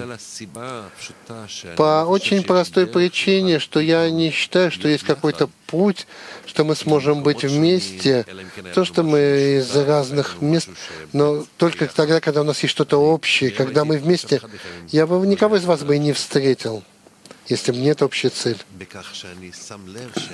Тем, что я обращаю внимание, то, что те, кто находится в десятке, это самое оптимальное духовное состояние. Нет ничего более высокого, чем важность десятки. Принимая это в свое сердце, мы видим, что единственный путь для раскрытия Творца. Как сказал Луиз, если один может плыть, а девять, а девять не могут, то один спасет всех. Так что каждый из нас выкидывает свое желание, вбрасывает свое желание в центр и обещает, что гарантирует, что он сам прыгнет вслед за ним. Мы строим мы строим доверие. И это доверие это, это как фонтан, это как источник, это то чувство, которое я ощущаю от товарищей. Я начинаю понимать, что это. И тогда я вижу, говорю, ага, это Творец. Осознание Творца в товарищах, поручительство, обязательство по отношению ко всем. И вот это чудо, это то, что вот предыдущий товарищ, вот у него всегда был ответ на все эти вопросы, которые мы поднимали. Через любовь и общую работу мы как одно целое. И вот это одно, которое служит Творцу, самой лучшей отдачи, которую только можем. Мы просто наблюдаем любое действие отдачи, потому что нет никого, кроме него. Я думаю, что как любая другая вещь в жизни, если ты этого хочешь, ты, этого, ты это получишь. В последние дни я заставляю себя, кричу. Я говорю Творцу, что все вы — это Он. Я это чувствую. Я думаю, что если все мы сосредоточимся на важности, э, то мы уже не должны заботиться о себе, потому что мы видим, что девять остальных так заботятся о нас, так беспокоятся. Они готовы жить ради других, они готовы сделать это и ради тебя, так что ты не должен заботиться о тебе, о себе. Я согласен, что когда мы можем забыть свое «я», мы можем стать «мы». Поэтому, если мы если мы находимся в состоянии, когда раскрываем, что вот эту нашу силу, ну, как все человечество, ну, так это одна сторона. Если мы раскрываем, что высшая сила действует в реальности, это вторая сторона. Именно тогда, когда есть у нас столкновение, кто будет править? Или я, или Творец, кто управляет миром? От кого зависит? Кто определяет? Что определяет? Что будет происходить? Тут, в таком состоянии, когда я не могу решить, я нахожусь в состоянии, когда я нуждаюсь в высшей силе. Не то, чтобы решил, Творец ли делает или я делаю, сам вот это действие, вот это, вот это то состояние, чтобы он решил это все. Но я прошу поверх вот этого действия, поверх этой ситуации, знать, как подступиться к решению проблемы, как я восполняю управление власть Творца с моей властью. Как это не просто так отмена меня самого по отношению к Творцу. Совсем нет. Но необходимо тут прийти к средней линии.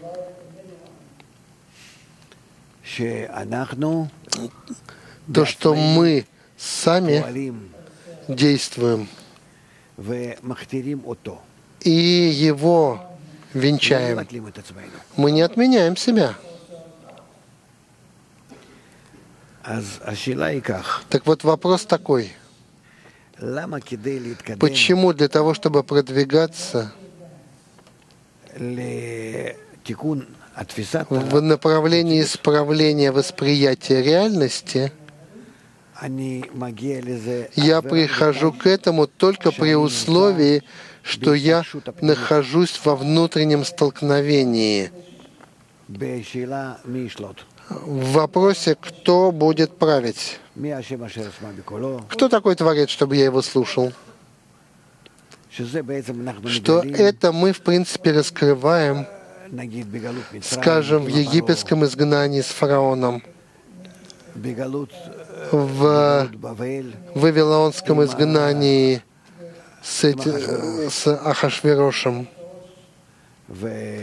и с Аманом. Ну, еще в таких ситуациях. Это и с Баламом, с Белаком, там нет недостатка. Всегда мы раскрываем недостаток решения. Так вот снова вопрос таков. Почему именно с того места столкновения Мир, мир, мир управляется высшей силой или мир управляется моей, моей силой, ну, нашими силами. И они находятся в столкновении. И отсюда именно мы как раз поднимаемся на более высокую ступень. Это значит, что в первую очередь мы отсюда должны понять, что вот это столкновение нам на пользу, нам не надо от этого бежать. Мы как раз именно с помощью таких соударений каждый раз на каждой ступени строим новый подъем. Пожалуйста. Ну попробуйте подумать. через центр группы, как вы соединяете все. Если 10 человек не знают ничего, но объединяются, они раскроют гарантированно правильный ответ.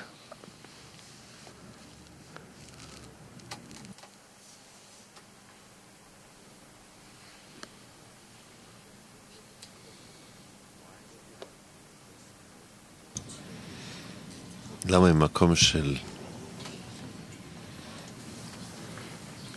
איך... Как, как из этого соударения мы можем прийти к высшей силе? Почему именно через столкновение мы удостаиваемся от расширения знаний, чувств, подъем.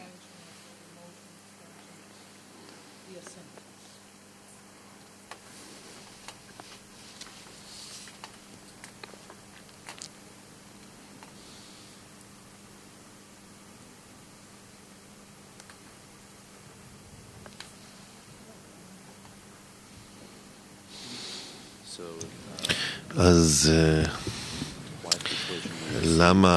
Почему через это соударение мы ощущаем э, распространение чувства,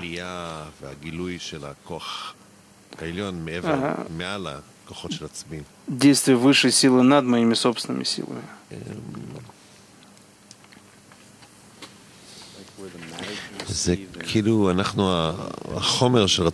Мы, собственно, желание, мы материя желания получать, мы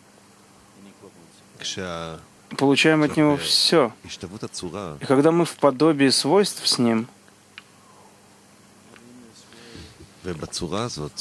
таким образом мы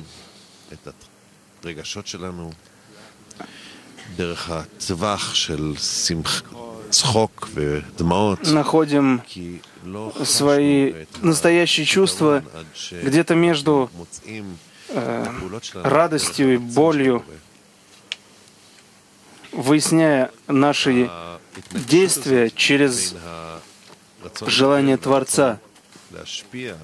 Соударение желания отдачи, желание получать создает пустоту, э, то место, в котором мы получаем возможность для продвижения подъема. Я вижу это как разбиение килим, и то, что надо нам снова это обратно соединить. И мы сможем начать подъем заново.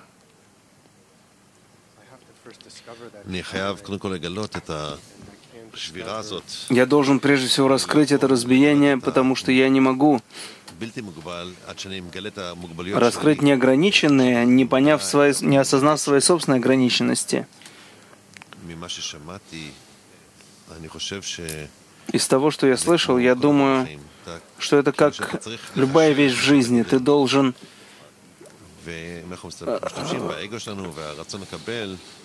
сделать расчет, прежде чем сделать шаг. Мы учимся вещам от их противоположностей и растем от подъемов к падениям. Я ощущаю, что желание получать встречает желание отдавать, и тебе удается отменить себя перед Творцом, этого недостаточно. То есть перекресток, где ты создаешь эту среднюю линию, и результат этого ты поднимаешься в духовном не за счет отмены эго, но используя это вместе со свойством отдачи, вместе со свойством Моше, со средней линией.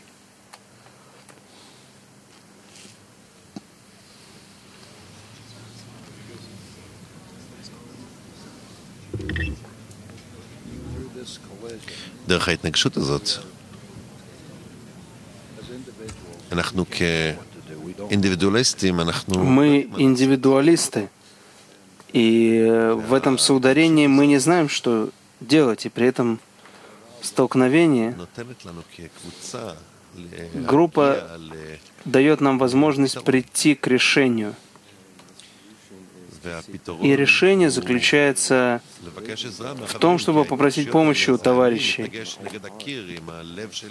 Я здесь сталкиваюсь со стенкой собственного сердца. Я, видимо, не могу соединиться с товарищами, я не раскрываю желания. И это желание, это, собственно, есть то, что сталкивается с товарищами. И это создает огромный хисарон. Оттуда это, собственно, приходит. Мы должны этого жаждать. И просить сделать то, что нам дано.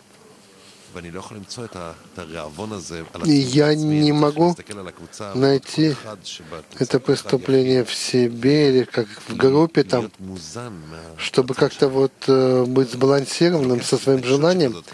То есть вот это столкновение, которое мы можем понять, что наше желание, в чем наша необходимость, и что у Творца есть для нас. Это в таком виде мы поднимемся снова, будем развиваться, получим и сможем отдавать. Получается, что само столкновение, соударение — это действие Творца, которое нас развивает в соответствии с тем, как мы относимся к этому столкновению.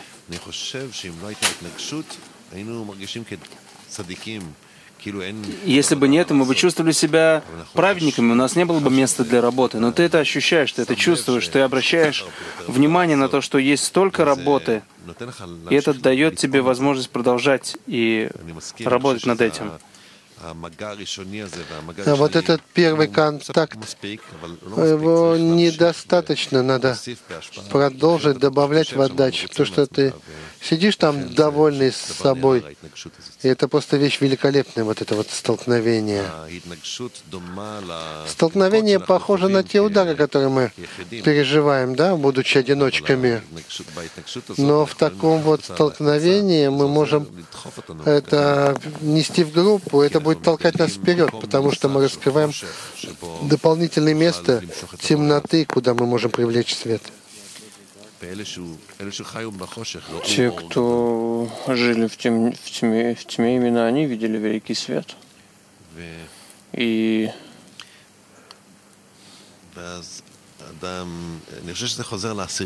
думаю, что это опять возвращается к теме десятки. Это некий постоянный поток,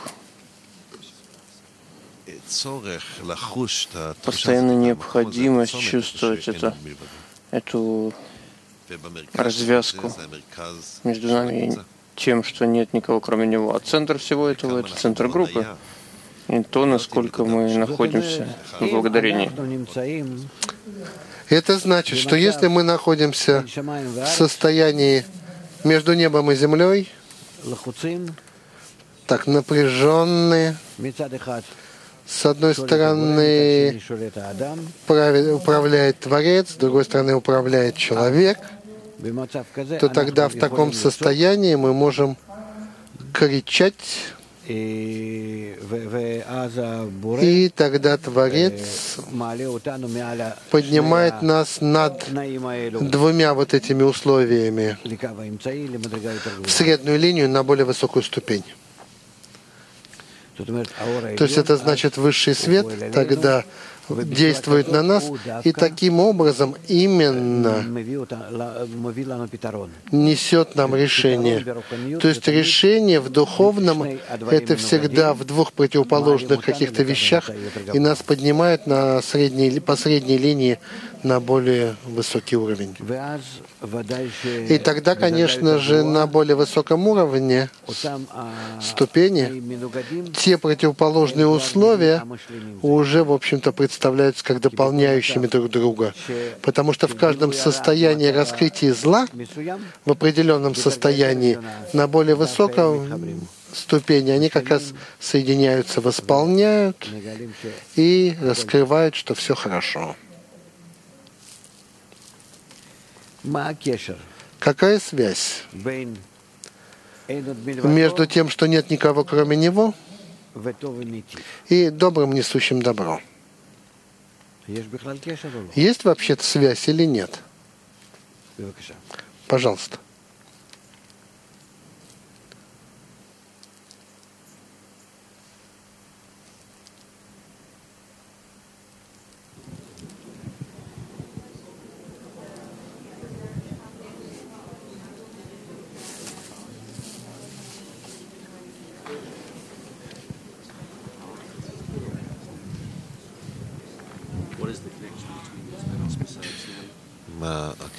Какова связь между тем, что нет никого кроме него, и добро дающий добро? И имеется ли такая связь?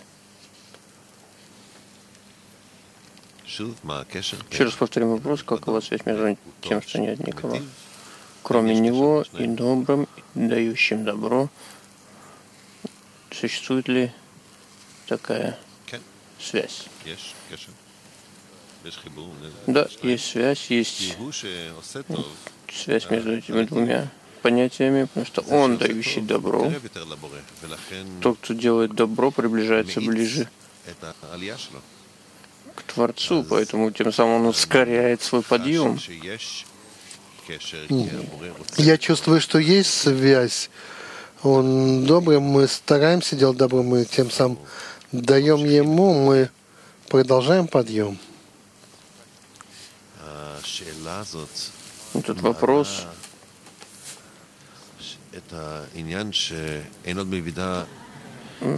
поднимает тему того, что нет никого кроме него,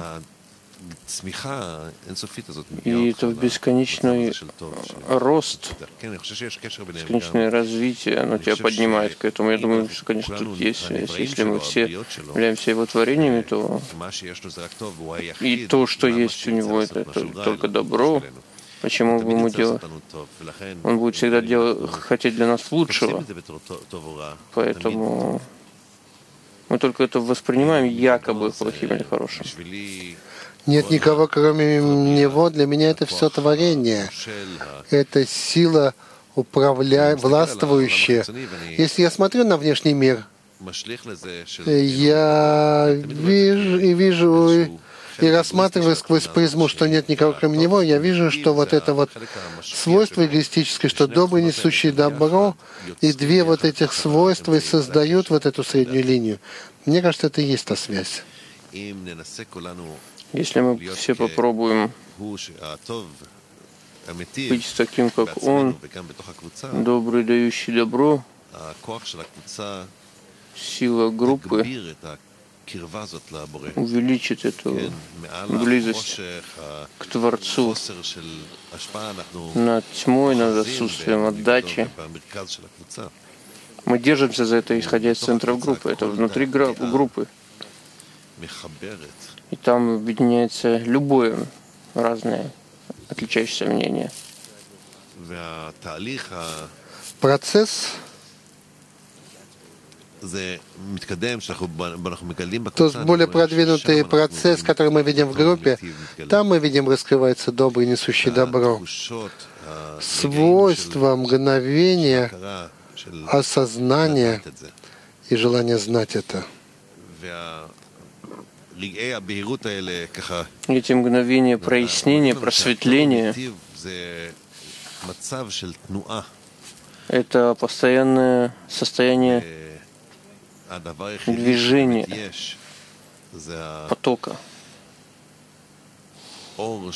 Единственное, что есть, это постоянный свет, свет отдачи. Добрый, несущий добро, совершающий Творец так это направил. Поэтому тот, кто так делает, он становится как Творец.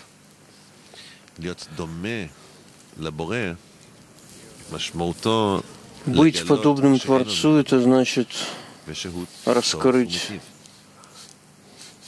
то, что Он добрый, дающий добро. Э, когда я смотрю на все, трагедия или что-то хорошее происходит, всему есть причина, и все это для того, чтобы помочь тебе продвинуться по направлению к Нему. Я чувствую, как будто эти две вещи, то, что нет никого кроме Него, и то, что добро дающий добро, это все может быть, вы слышали, что ну, то, что мы изучаем, что я не изменял свое авая, и свет он постоянно покоит, то есть тут весь вопрос в том, как ты начинаешь это раскрывать. Это все зависит от нас. У нас просто нет возможности увидеть это правильным образом, но все начинается с нас. Я никогда не знаю точную связь, как это откликнется, как это отзовется в общей системе, но к, этой, к этому ощущению стремлюсь, ощущению общей связи. Только начиная с того, что мы делаем это добро, мы можем как бы стремиться, не, находясь в надежде, что мы правильно это делаем, не, не рассчитываем. Да, и мы это строим в центре того, что нет никого кроме него, оттуда мы почувствуем и вкусим, что он добрый, несущий добро из любви к творениям. И добрый дающий добро — это, это все вы. Вы такие добрые дающие.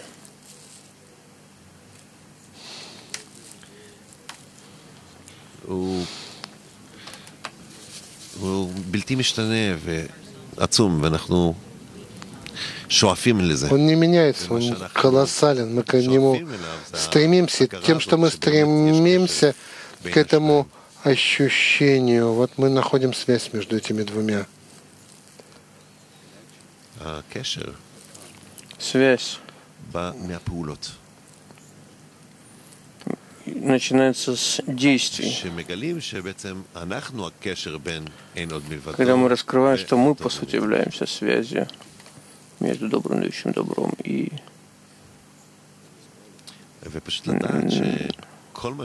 тем, что нет никого кроме него. И знаем мы того или нет, то, что происходит в отдаче, мы должны это делать все ради него в результате.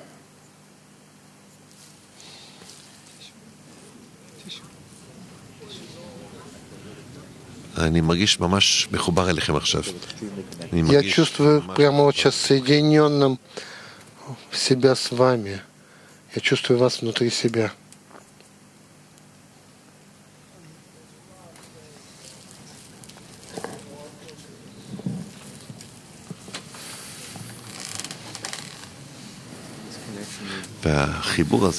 Это объединение — это единственное значимое. Чего остального не существует. Все остальное я отменяю для того, чтобы только раскрыть эту связь. И когда я отменяю свои мысли, чтобы раскрыть объединение, я чувствую, что в мысли группы просто чувствую вот эту вот форму. Это как будто бы это все ну, мне на благо.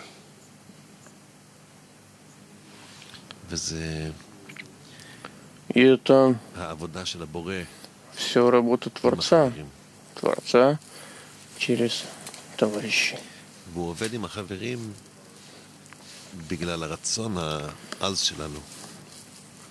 Он работает с товарищами благодаря нашему возбуждающемуся желанию. Зачем вообще есть в мире плохие какие-то ситуации? Случае.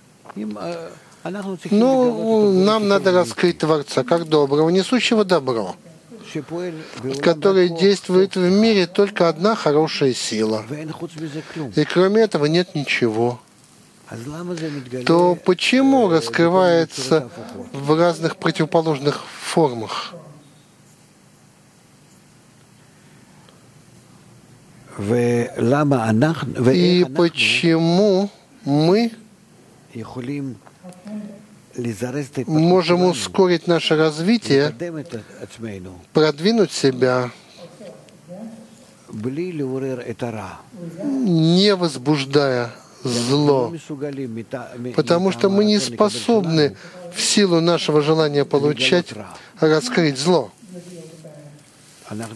раскрывать зло. Мы чисто естественно от этого отстраняемся. Пожалуйста.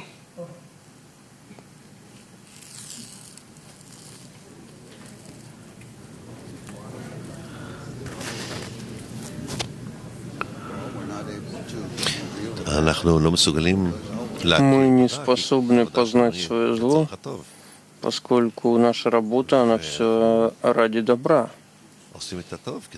А мы делаем добро для того, чтобы приблизиться к Творцу.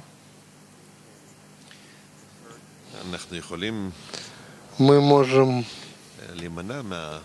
избежать а, большего страдания снаружи, если мы с каждой мыслью, чувством, а, так скажем, что все замечательно, великолепно, и все это сразу же возвращаем к Творцу.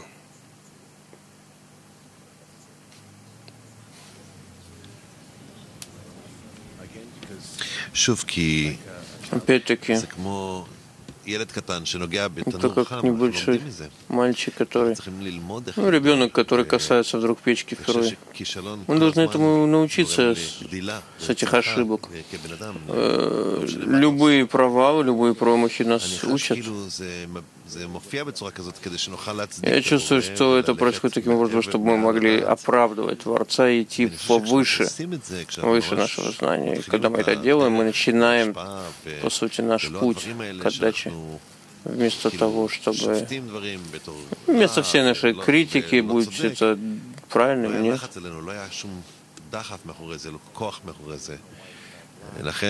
Если бы не было критики, если бы не было давления различных, то мы бы не, пров... не продвигались бы, потому что нет белого без черного. Поэтому Творец обязан раскрываться нам именно, именно таким образом. И то, как мы видим добро и зло, это не обязательно вообще так. У нас просто нет такой возможности увидеть его в истинном его виде. Я это воспринимаю через свои испорченные свойства, но дает мне необходимость в изменении, в исправлении. И это изменение дает нам возможность подняться.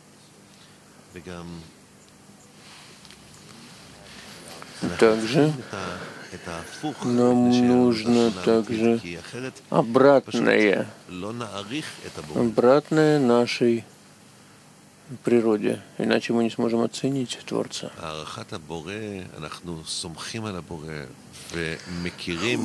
Оценить Творца, мы полагаемся на Творца. Мы помним, что вот эта двойственность отражает то, что есть в нас, и то, с чем мы сталкиваемся, то есть раскрытие Творца, вот это суждение, эти суждения и вот это объединение, это в силу недостатка знания. Поэтому нам представляется, что это плохо, но трудно принять этот факт, что это нечто умственное, это должно пройти через сердце.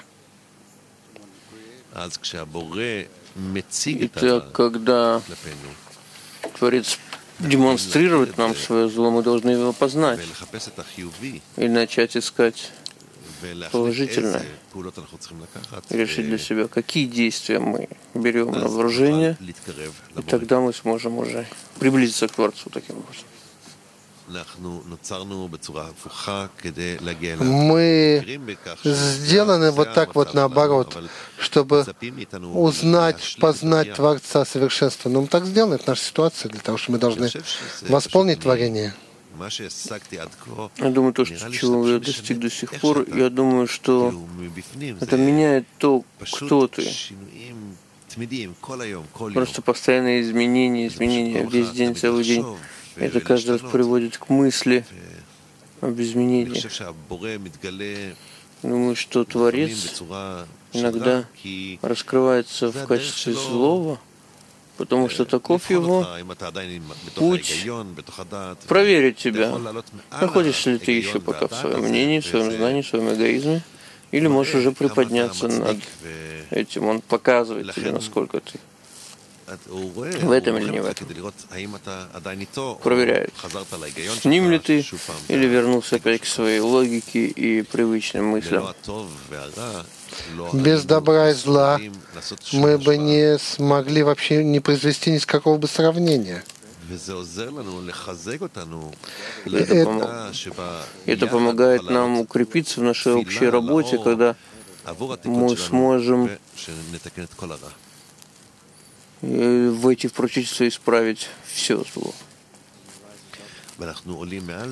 Мы поднимаемся над этим таким образом, то есть приподнимаемся. И когда мы поднимаемся над... Мы обращаем внимание, что действительно нет зла. Это я плохой, я злой. И наше восприятие формируется соответственно нашим ощущениям, пока мы не отпускаем все наши предрассудки, меняя их на ответственность и преданность, веру.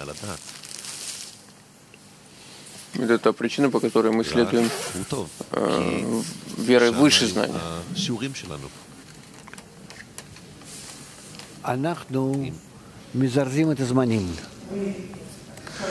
Мы ускоряем время. Это все, что мы можем сделать. Ускорить наше развитие. Почему в нашем развитии каббалисты говорят, вы должны проверить только, а увеличивать всегда правую линию, хорошую сторону. Любовь, объединение. А в чем негативная, отрицательная сторона? Ведь они должны же расти вместе, две силы. За счет чего будет расти отрицательная сторона?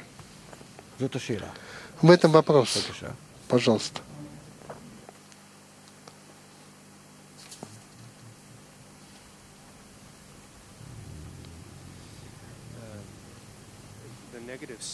הצד השלילי, ש...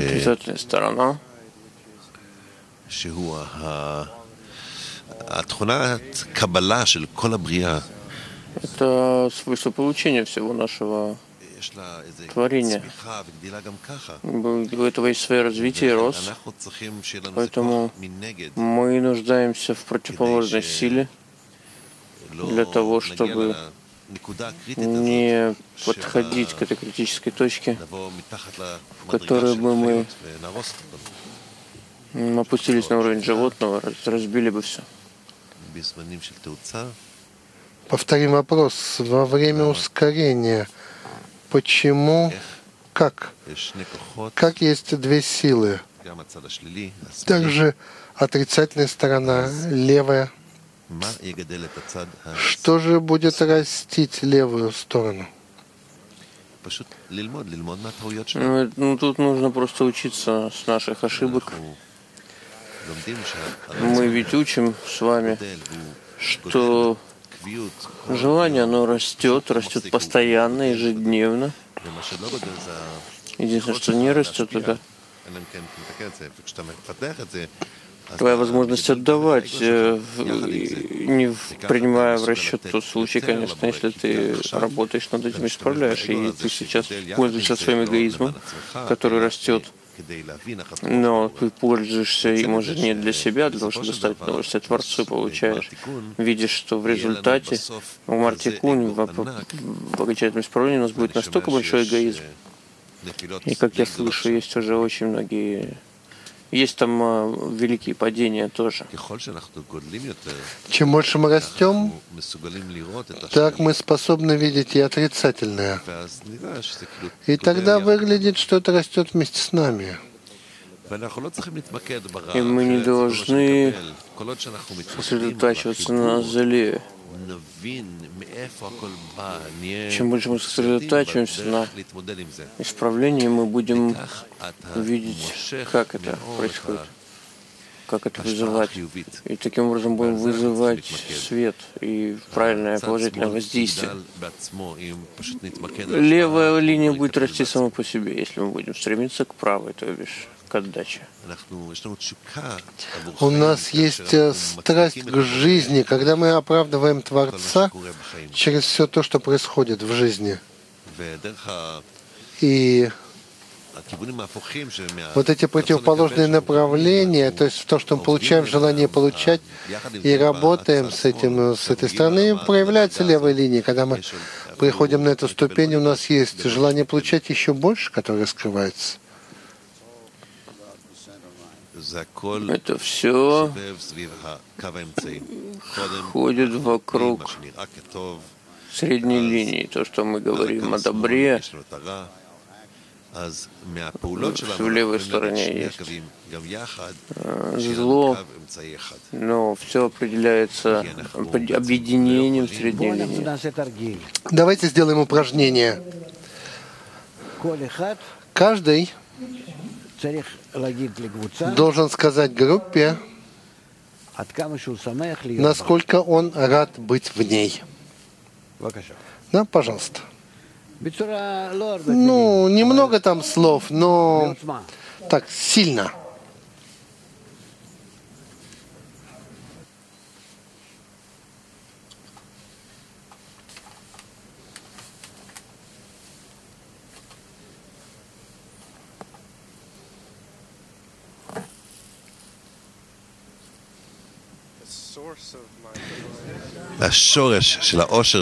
Корень всего моего счастья – это возможность получения этого круга, встретить вас здесь. Я так горжусь быть частью этой группы, потому что в материальном мы настолько отличаемся – но именно потому, что мы такие, вот мне это заставляет работать еще тяжелее, чтобы быть с вами. А если бы мы все были э, одинаковы? Но я сейчас так радуюсь, что мы вместе, потому что мы все направлены на Творца, и мы играем сейчас с Ним. И я просто чувствую настолько полон благодарности.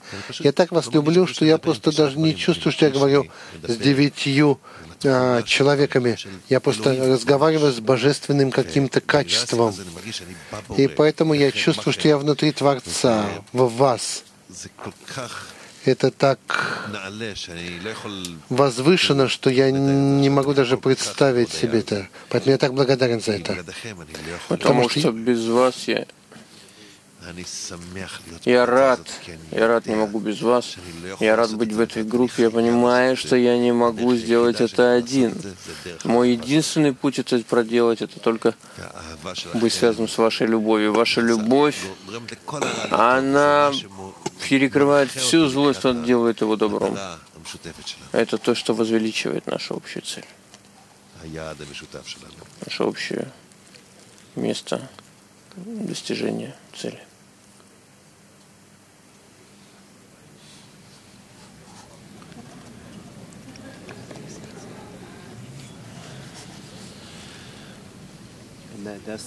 והיעד הזה אף פעם לא נמצא לבד. И вот эту цель мы никогда не найдем вместе.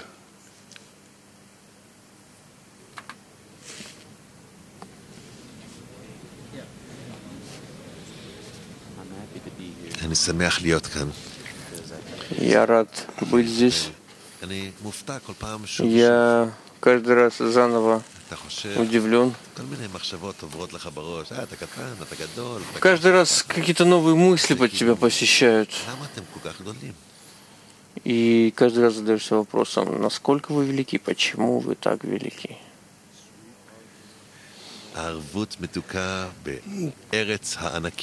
Поручительство такое сладкое в такой земле великих. Я так рад, что я в этой группе, потому что я могу шагать вокруг вас, а вы такие великие, вы настолько большие, что я даже стремиться к этому не могу. Я просто смотрю на вас снизу вверх. И это то, то, кем я хочу быть. И спасибо вам.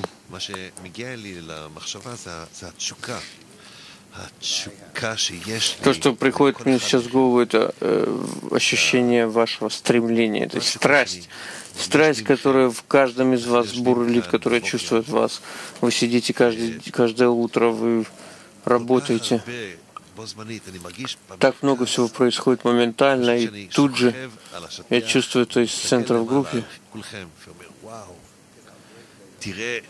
И я могу просто смотреть на вас снизу, лежа, и говорить о вашем величии, об вашем огромном устремлении страсти. Дать вам сердце, что может быть еще большим счастьем. Я взволнован и так рад быть частью этой группы. То, что вот мы сейчас даже делаем в этом упражнении, это все время, чтобы подниматься, чувствовать друг друга. И вот наши ощущения просто сливаются друг с другом. Я действительно так рад, потому что мы как будто бы все просто помещаем себя в сторону и ту любовь, которую мы так хотим достичь какой-то таком шаре, в сфере, в таком месте, там, где вот эту форму, которую мы создаем между нами, и я чувствую, как будто я внутри этого. И там мы раскроем Творца. За счет того, что мы будем любить друг друга. и забудем свое «я». Поэтому я так благодарен, что на самом деле, после того, как я уже четыре года учусь, никогда у меня не было такой возможности. И сейчас я чувствую, что Творец в конце концов говорит, ну, берите. И это потрясает. Я знаю, что когда я упаду, то группа моих товарищей обязательно подхватит меня, поднимет меня, потому что это единственное место, где у нас реально есть свободный выбор. Я так рад находиться в том месте, где я могу проделать такие важные шаги, пускай даже самые малые к цели. И эта цель, она подтягивает нас. Я чувствую свои желания в вас.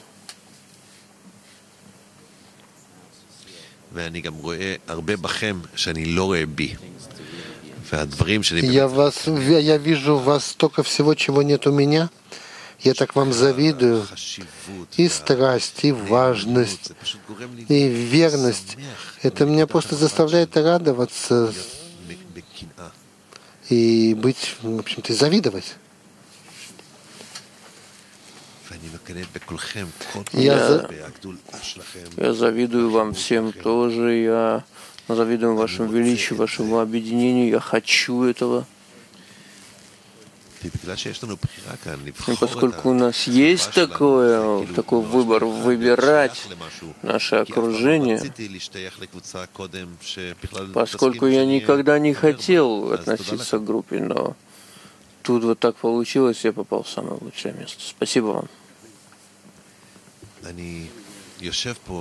Я сижу здесь и думаю, ого, что будет, когда это закончится, когда закончится конгресс, когда закончится семинар. Вот эта интенсивность, которая чувствуется здесь, я просто, ну я даже не знаю, что делать с этим. Это просто так сильно. Я был раньше на семинарах. Никогда не было ничего подобного. Я благодарен всем вам. Что ж, друзья, у меня еще две вещи вам сказать. Судя по тому, как я впечатляюсь, все продвигается очень хорошо. Мне нужно объявить, пользуясь возможностью о следующем нашем конгрессе.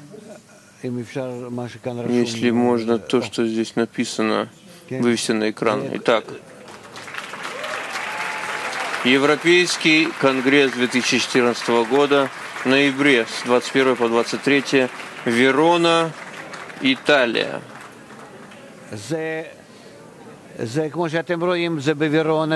Как вы видите, это находится в Вероне, в Италии будет происходить.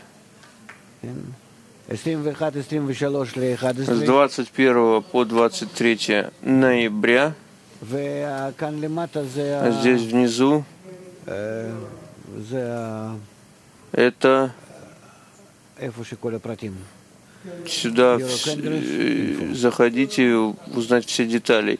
eurocongress.info eurocongress.info И я обращаюсь ко всем европейцам. Постараться быть там. Без подобных конгрессов, так или иначе, мы не продвинемся. Чтобы поддать человеку форму, дать ему некую поддержку, толчок вперед. Это не может произойти без Конгресса. Это первое. Второе — это то, что сейчас я буду сидеть там возле книжного павильона, и те, кто желает, чтобы я подписал ему купленную им книгу, может подойти и тут же получить мою подпись. Это будет происходить в течение получаса, примерно полчаса. Или, или пока кончатся люди, или пока кончатся книги. Одно из двух. И тут же песня, маэстро.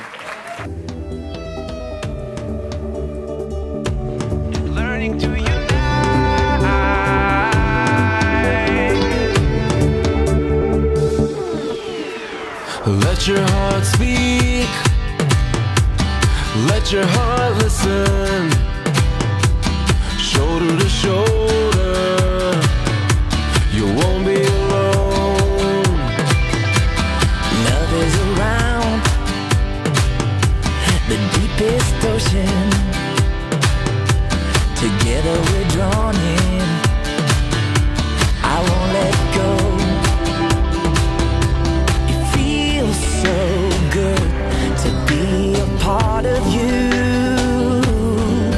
This is why